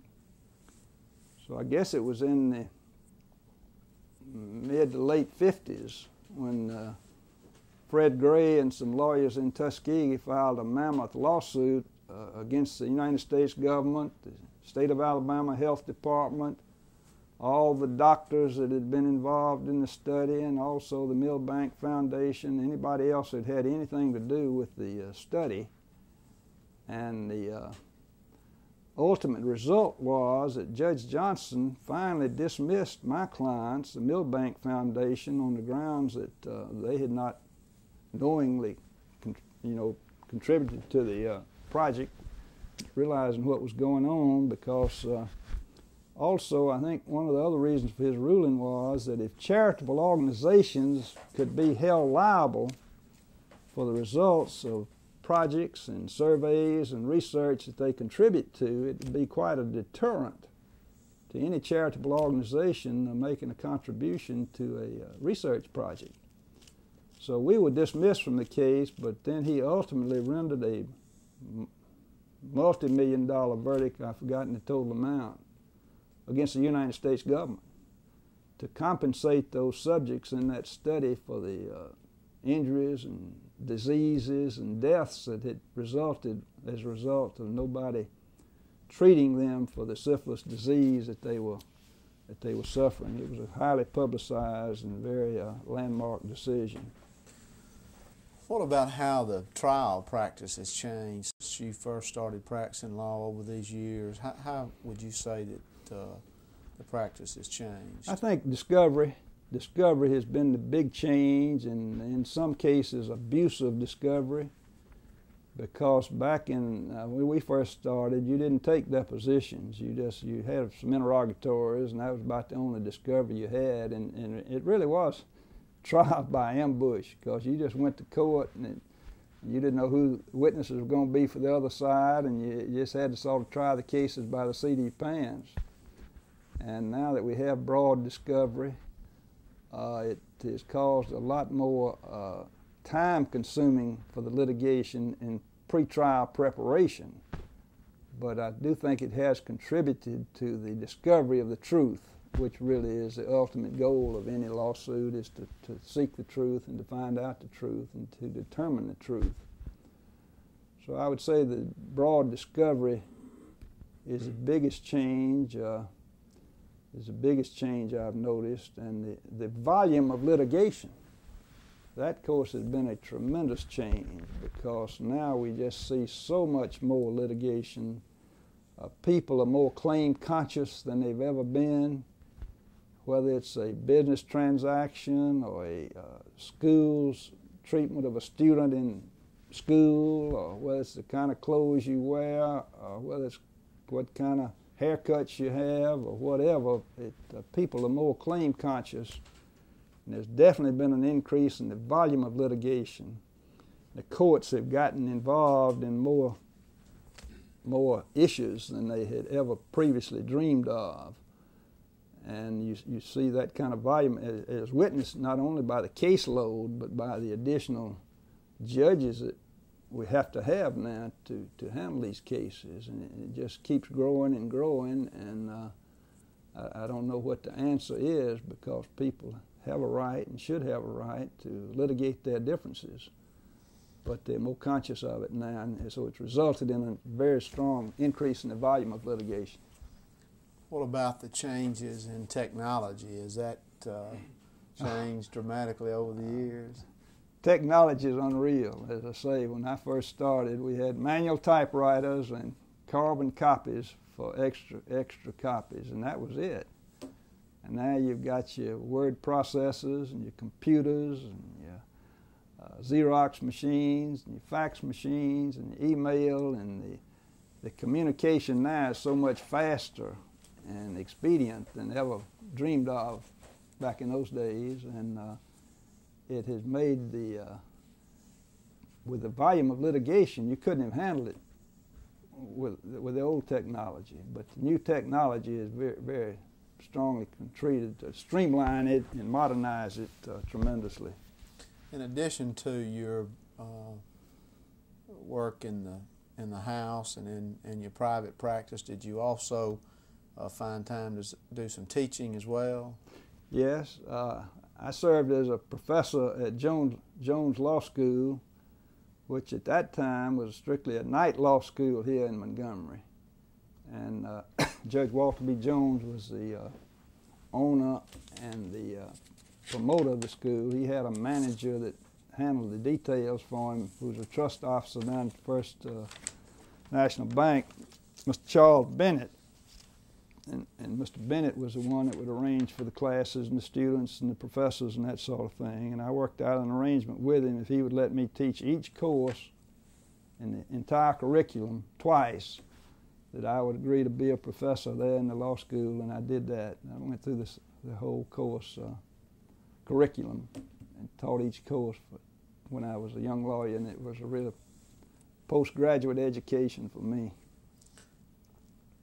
What would you say, or the, uh, or how would you compare the lawyers coming out of law school today, starting practicing law, uh, compared to when you first came out and started practicing law? Much better prepared, much smarter, much better trained. Uh, we knew we knew how to get to the courthouse, but that was about it when we first started. We had to really learn it by experience and, and uh, trial and error. But these lawyers now are so much better better prepared and better educated. So I think the legal education they receive now is much better, and, and the law schools and the undergraduate schools are all doing a much better job. I know that juries have changed, but uh, what have you noticed in terms of changes in trial strategy and the way uh, trials are prepared for uh, between when you started and over the years and now? Well, when I first started, we had nothing but white males on the jury. There, were no uh, females, there were no blacks. It was just uh, white males, and most of them uh, had businesses pretty, pretty close around the courthouse. So if we'd run short of jurors, Mr. John Matthews, who was a circuit clerk back in those days, would just pick up the telephone and call down to the power company of the South Central Bell and uh, get Lyle Hines, uh, uh, Mr. Bishop, to come up there and serve on the jury. And it was, uh, I've got a picture. I tried the first case in the, what was then the new Montgomery County Courthouse after we moved that back out, in out of the old Masonic building. And I've got a picture of that jury with Judge Jones in the background, all white males. And uh, that was the first trial by jury in the new Montgomery County Courthouse at that time, and they were all white males. Of course, uh, now it's a pretty, pretty mixture of all types of occupations and businesses and age groups and races and genders. Is that a made a big for a big change in trial strategy? Definitely, definitely. It uh, it changed the verdicts too. We we we we didn't used to get back in those days. A very few large plaintiffs' verdicts, and of course that's radically changed now. And pendulum pendulum probably has swung in the other direction. What do you think has caused that change in jury verdicts? Uh, to what we see now and compared to when you first started practicing? I think it's a juror's background and education and experience.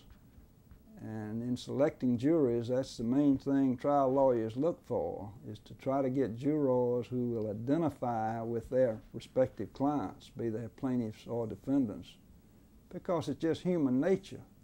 Somebody who has a similar background and who has a similar education and, and uh, business interest or lack of interest is going to identify with uh, one party or the other, and it uh, is reflected usually in the jury verdicts that are, that are rendered.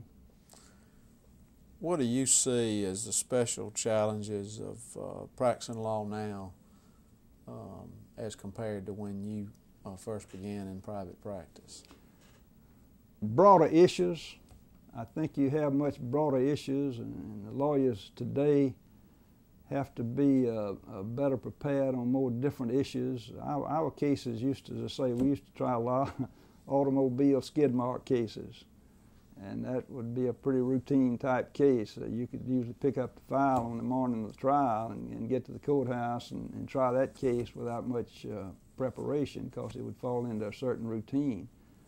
Now you get so many different type of cases involving uh, so many different issues, and you can pick up any newspaper any day, and there'll be some unusual lawsuit or some unusual case that's been filed or some unusual verdict that's been rendered uh, somewhere in the United States. And it's just unlimited as to how the new issues and new cases and new uh, litigation In is your career since you've been out in your own law firm, who would you look at as some of the uh, law firms and uh, special lawyers that you've practiced with and against?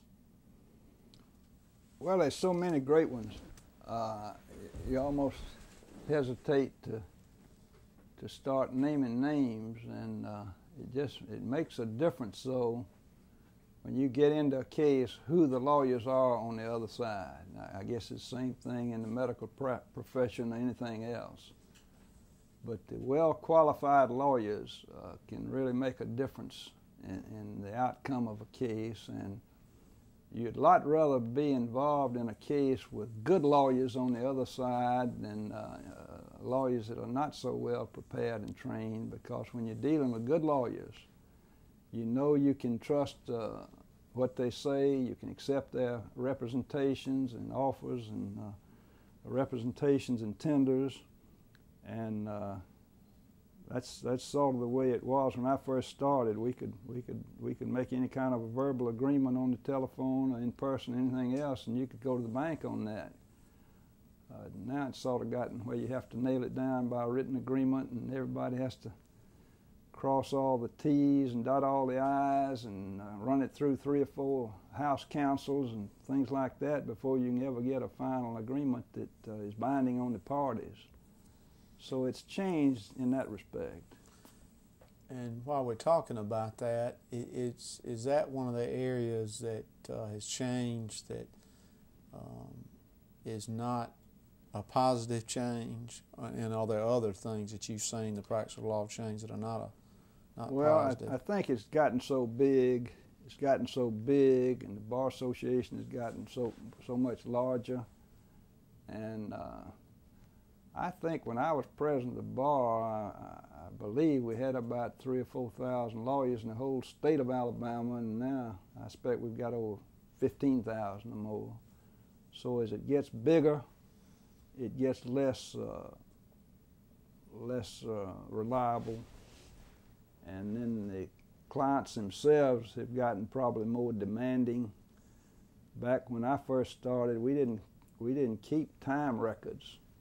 You'd try the case for any kind of client, and sometimes, but most of the time, you wouldn't even have a fee agreement. So when the case was over, you'd take the file and sort of weigh it and see how big and thick it was and what kind of results had been obtained, and you would uh, send them a bill and uh, never had one that wasn't satisfactory. So that, that's the way it was done. Then the insurance company started insisting on keeping time records and hourly rates.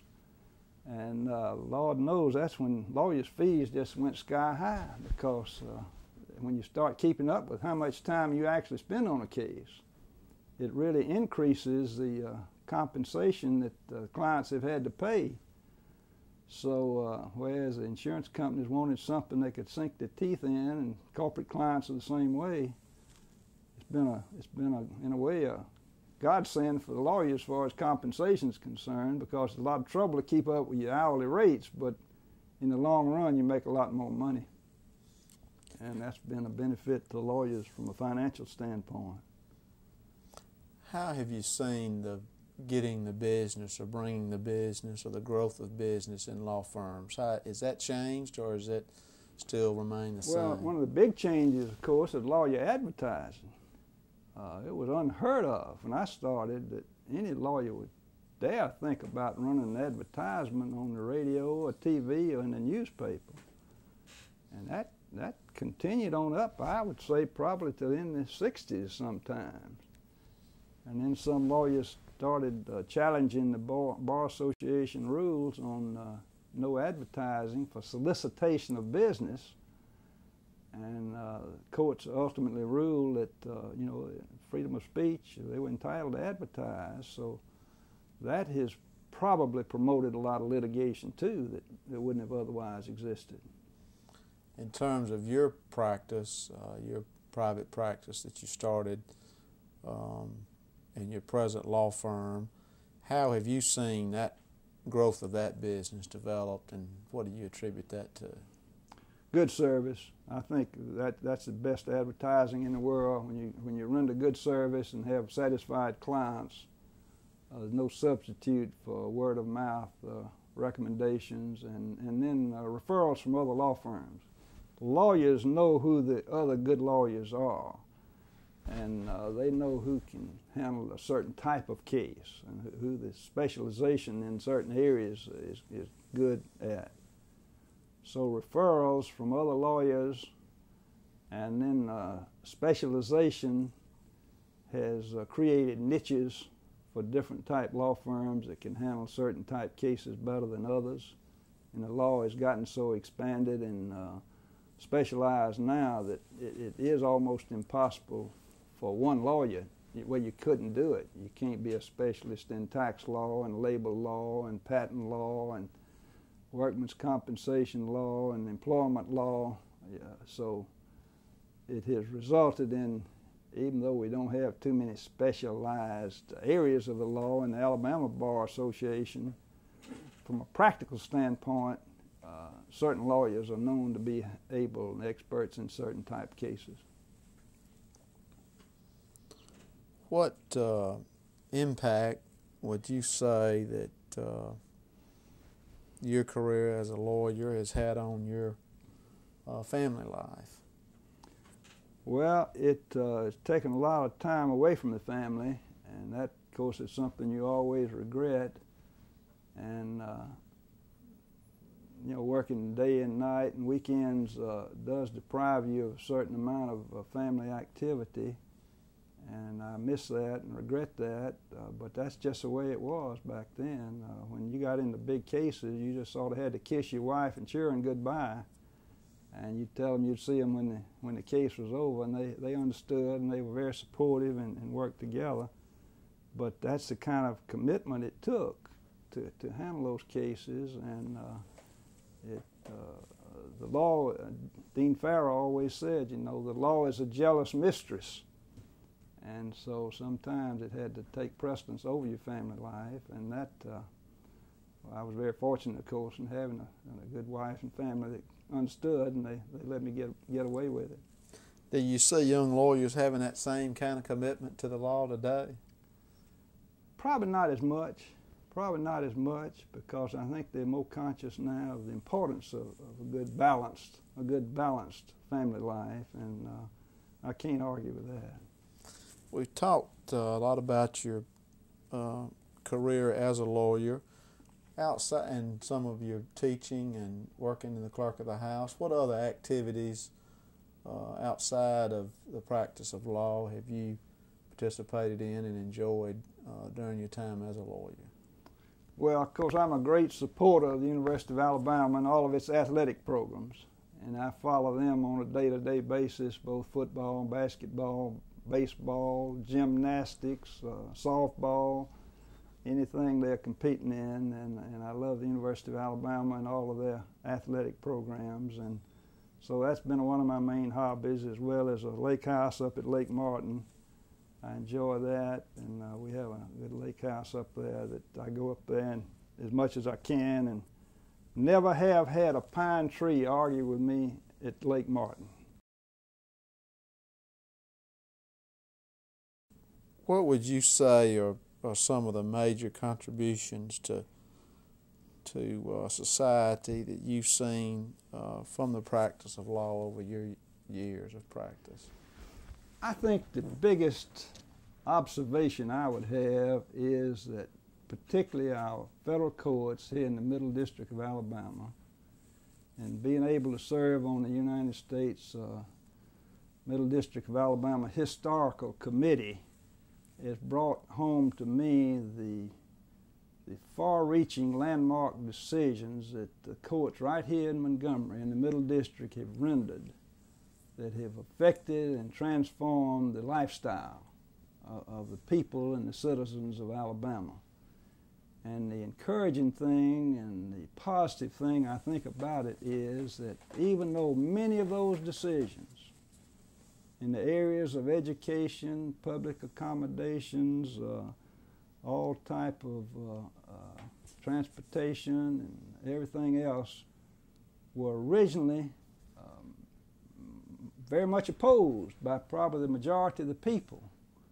Still, when the courts made the final orders, the people accepted and abided by the, the orders of the court and, and thereby disclose their respect for the law and confirm that our country is a law of uh, a nation of laws and not of men. It's just like the uh, election down in Florida, the presidential election. When the state courts down there ordered the election officials to start the recount, they started immediately. The next day, when the U.S. Supreme Court ordered it to stop the recount, they stopped immediately. They didn't question. They may not have liked it, they may have been on one political party or the other, but they abided by the law. And that's been my experience and my uh, satisfaction throughout the years, is seeing the way the, the people of Alabama and the South, and indeed the whole United States, have respected the law and abided by the law as ultimately uh, decided and rendered by the courts. Uh, it's a very sobering and uh, satisfying type of uh, system we have. Have you seen the courts and judges change uh, significantly uh, over your years practicing as a lawyer?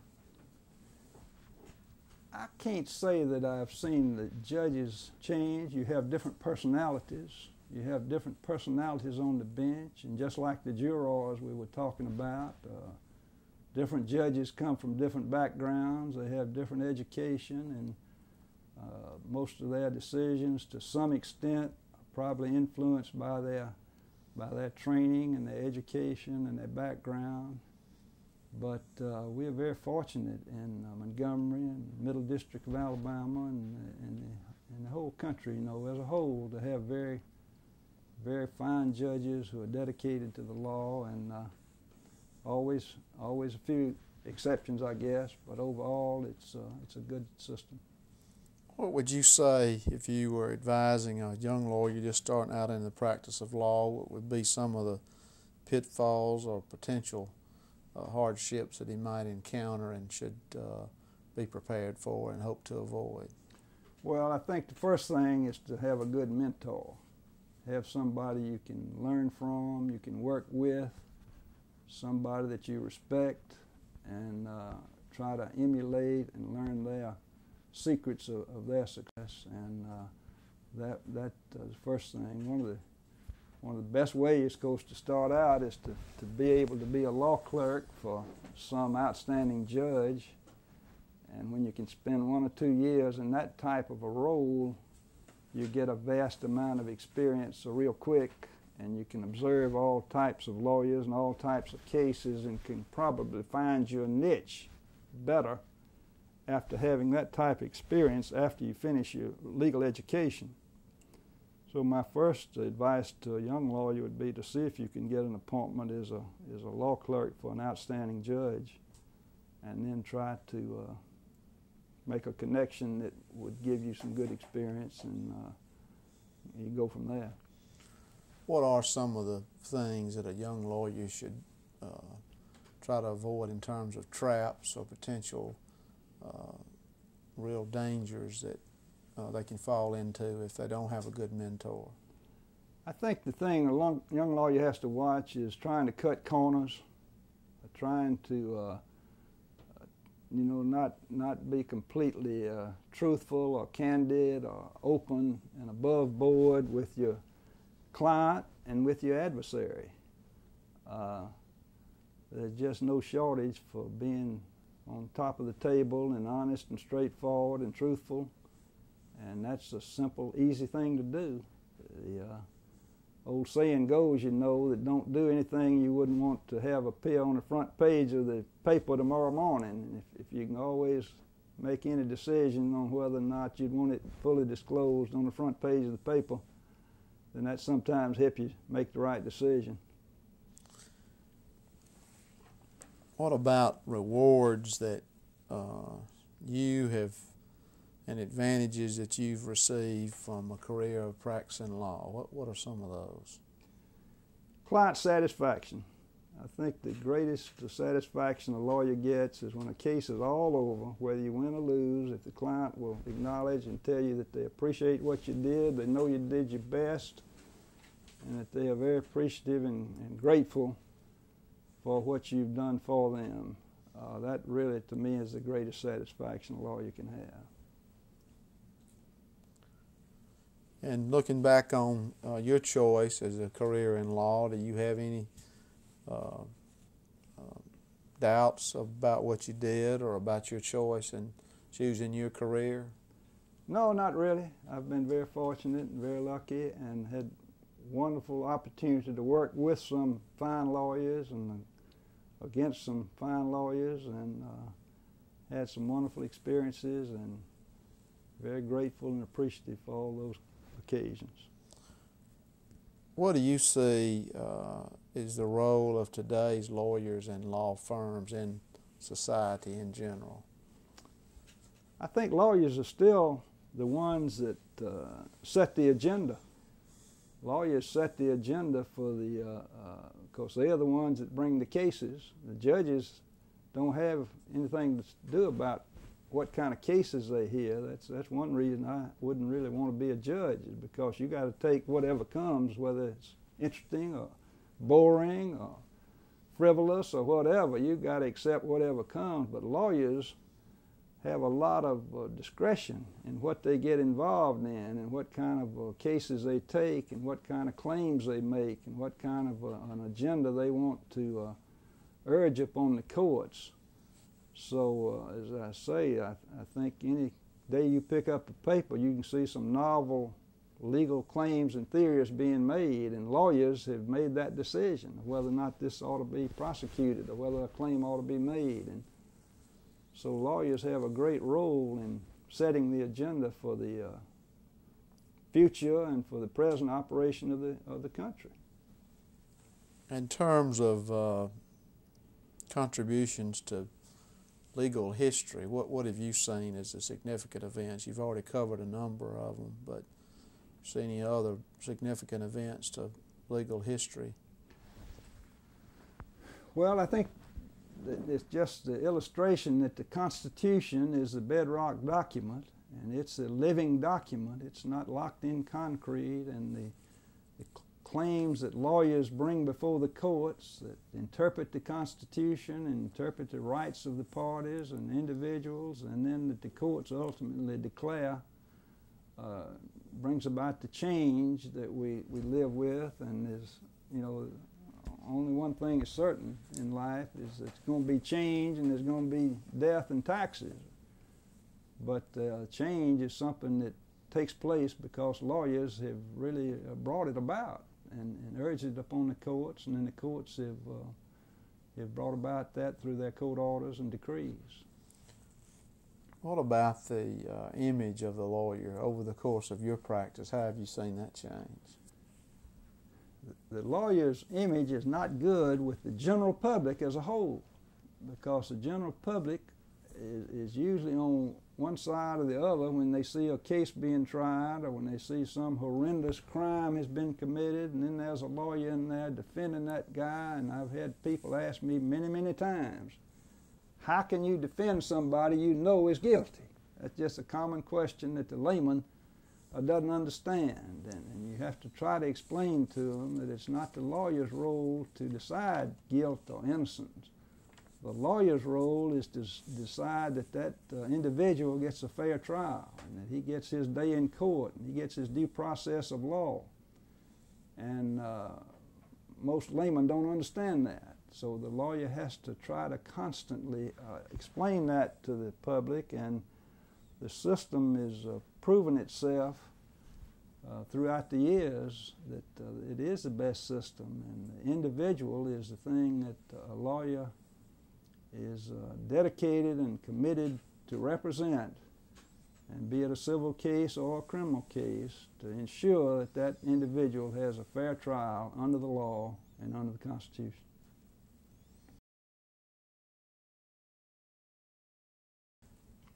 Mr. Melton, uh, you mentioned earlier that you had first met your uh, wife, I believe, when you were serving as a bailiff for your father over in Elmore County. Right. Is that right? Tell us about uh, your wife and uh, you know your uh, when y'all first were married, and a little bit about your married life. Well, I say I met her in the summer of 1950 uh, while I was serving as bailiff for my father at the Circuit Court of Chilton County, Alabama, in Clanton. That's where she lived. We met that summer and then we started dating that fall when we went back to the university. She was an Alpha Gam at Alabama. And then uh, we got married in February of 1951 while I was still in law school. That was my last semester in law school. And she was on a master's degree, working on her master's in home economics. She had graduated in 1950 and was going back for her master's degree. So we got married in February of 1951. So this is our 50th anniversary. This year we've been married 50 years, and uh, then uh, when we finished law school, we came to Montgomery and uh, lived here out in the what is now the Zelda and Scott Fitzgerald Museum that time it was um, divided into four apartments. Senator Cater, who was a city clerk, owned the building. He had the downstairs apartment. We had the upstairs apartment over him, and then there were two more apartments in the same building. And uh, we lived there, in uh, one block from First United Methodist Church. So we we joined the First United Methodist Church, where my two partners, Bill Moore and uh, Charlie Porter were members. And I've often kidded Julian McPhillips about the fact he ought to change the name of that building to the uh, Fitzgerald Melton Museum because I lived there for about a year when we first uh, came to Montgomery. And then Bill Moore, who's in the contracting business, uh, came in one day and he said, You need a house. You don't need to be living in that apartment anymore. I said, Oh, really? I don't know whether I can afford a house or not. Oh, yeah, you can afford a house. We're going to build you a house out on Kelly Lane. So he built us a house, and we bought it for $12,500. And uh, they put a part of the purchase price in escrow for the pending establishment of a permanent loan. So Bill was in the contracting business and building houses, and he couldn't get that escrow till uh, established a permanent loan loan under the under the federal loan we were getting to pay for the house. So I came home one day and there was Bill Moore out there watering the grass, watering the grass so he, that, so he could get that money out of escrow. And uh, we always laughed about that because uh, he, he, he, was, uh, he needed the money, money, I guess, for another, another project or something. But we lived there until our children started uh, being born. I think three of them were born there. And then we moved over on Southview Avenue where the other two were born. We have five children and uh, three son-in-laws and eight grandchildren. So we're very blessed with a, wonderful family, and uh, they all doing well. My oldest daughter's married to a doctor down in Monroeville. Uh, my youngest son is uh, he's in the video business here in Montgomery, and uh, second daughter's married to a, a businessman here in Montgomery, Adams Hudson.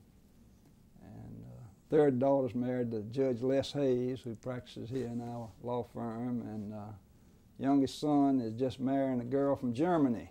He, he met her working in a bookstore in Nashville, Tennessee, where she was over here on a work visa. And now they're getting married over in Germany and uh, who live in Nashville. So I've got five children, uh, four in-laws, son-in-laws, and daughter-in-laws, and uh, eight grandchildren they're all mighty proud of all of them. They're doing real good.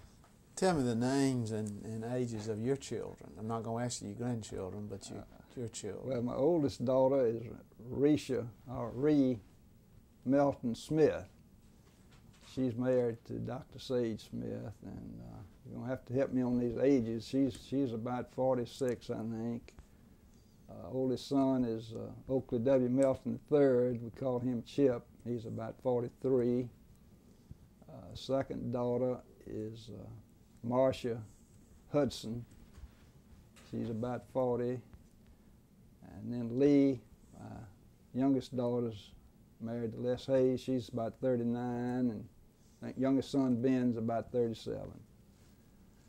And, uh, and how many grandchildren did you say you eight? Eight grandchildren. And do y'all have any special activities that y'all as a family plan together? And yeah, we take a annual. I take them all on a family trip every year, and we've had some great, uh, great family trips with the children and the grandchildren. And we've made it a tradition every year to go during the AEA spring holidays.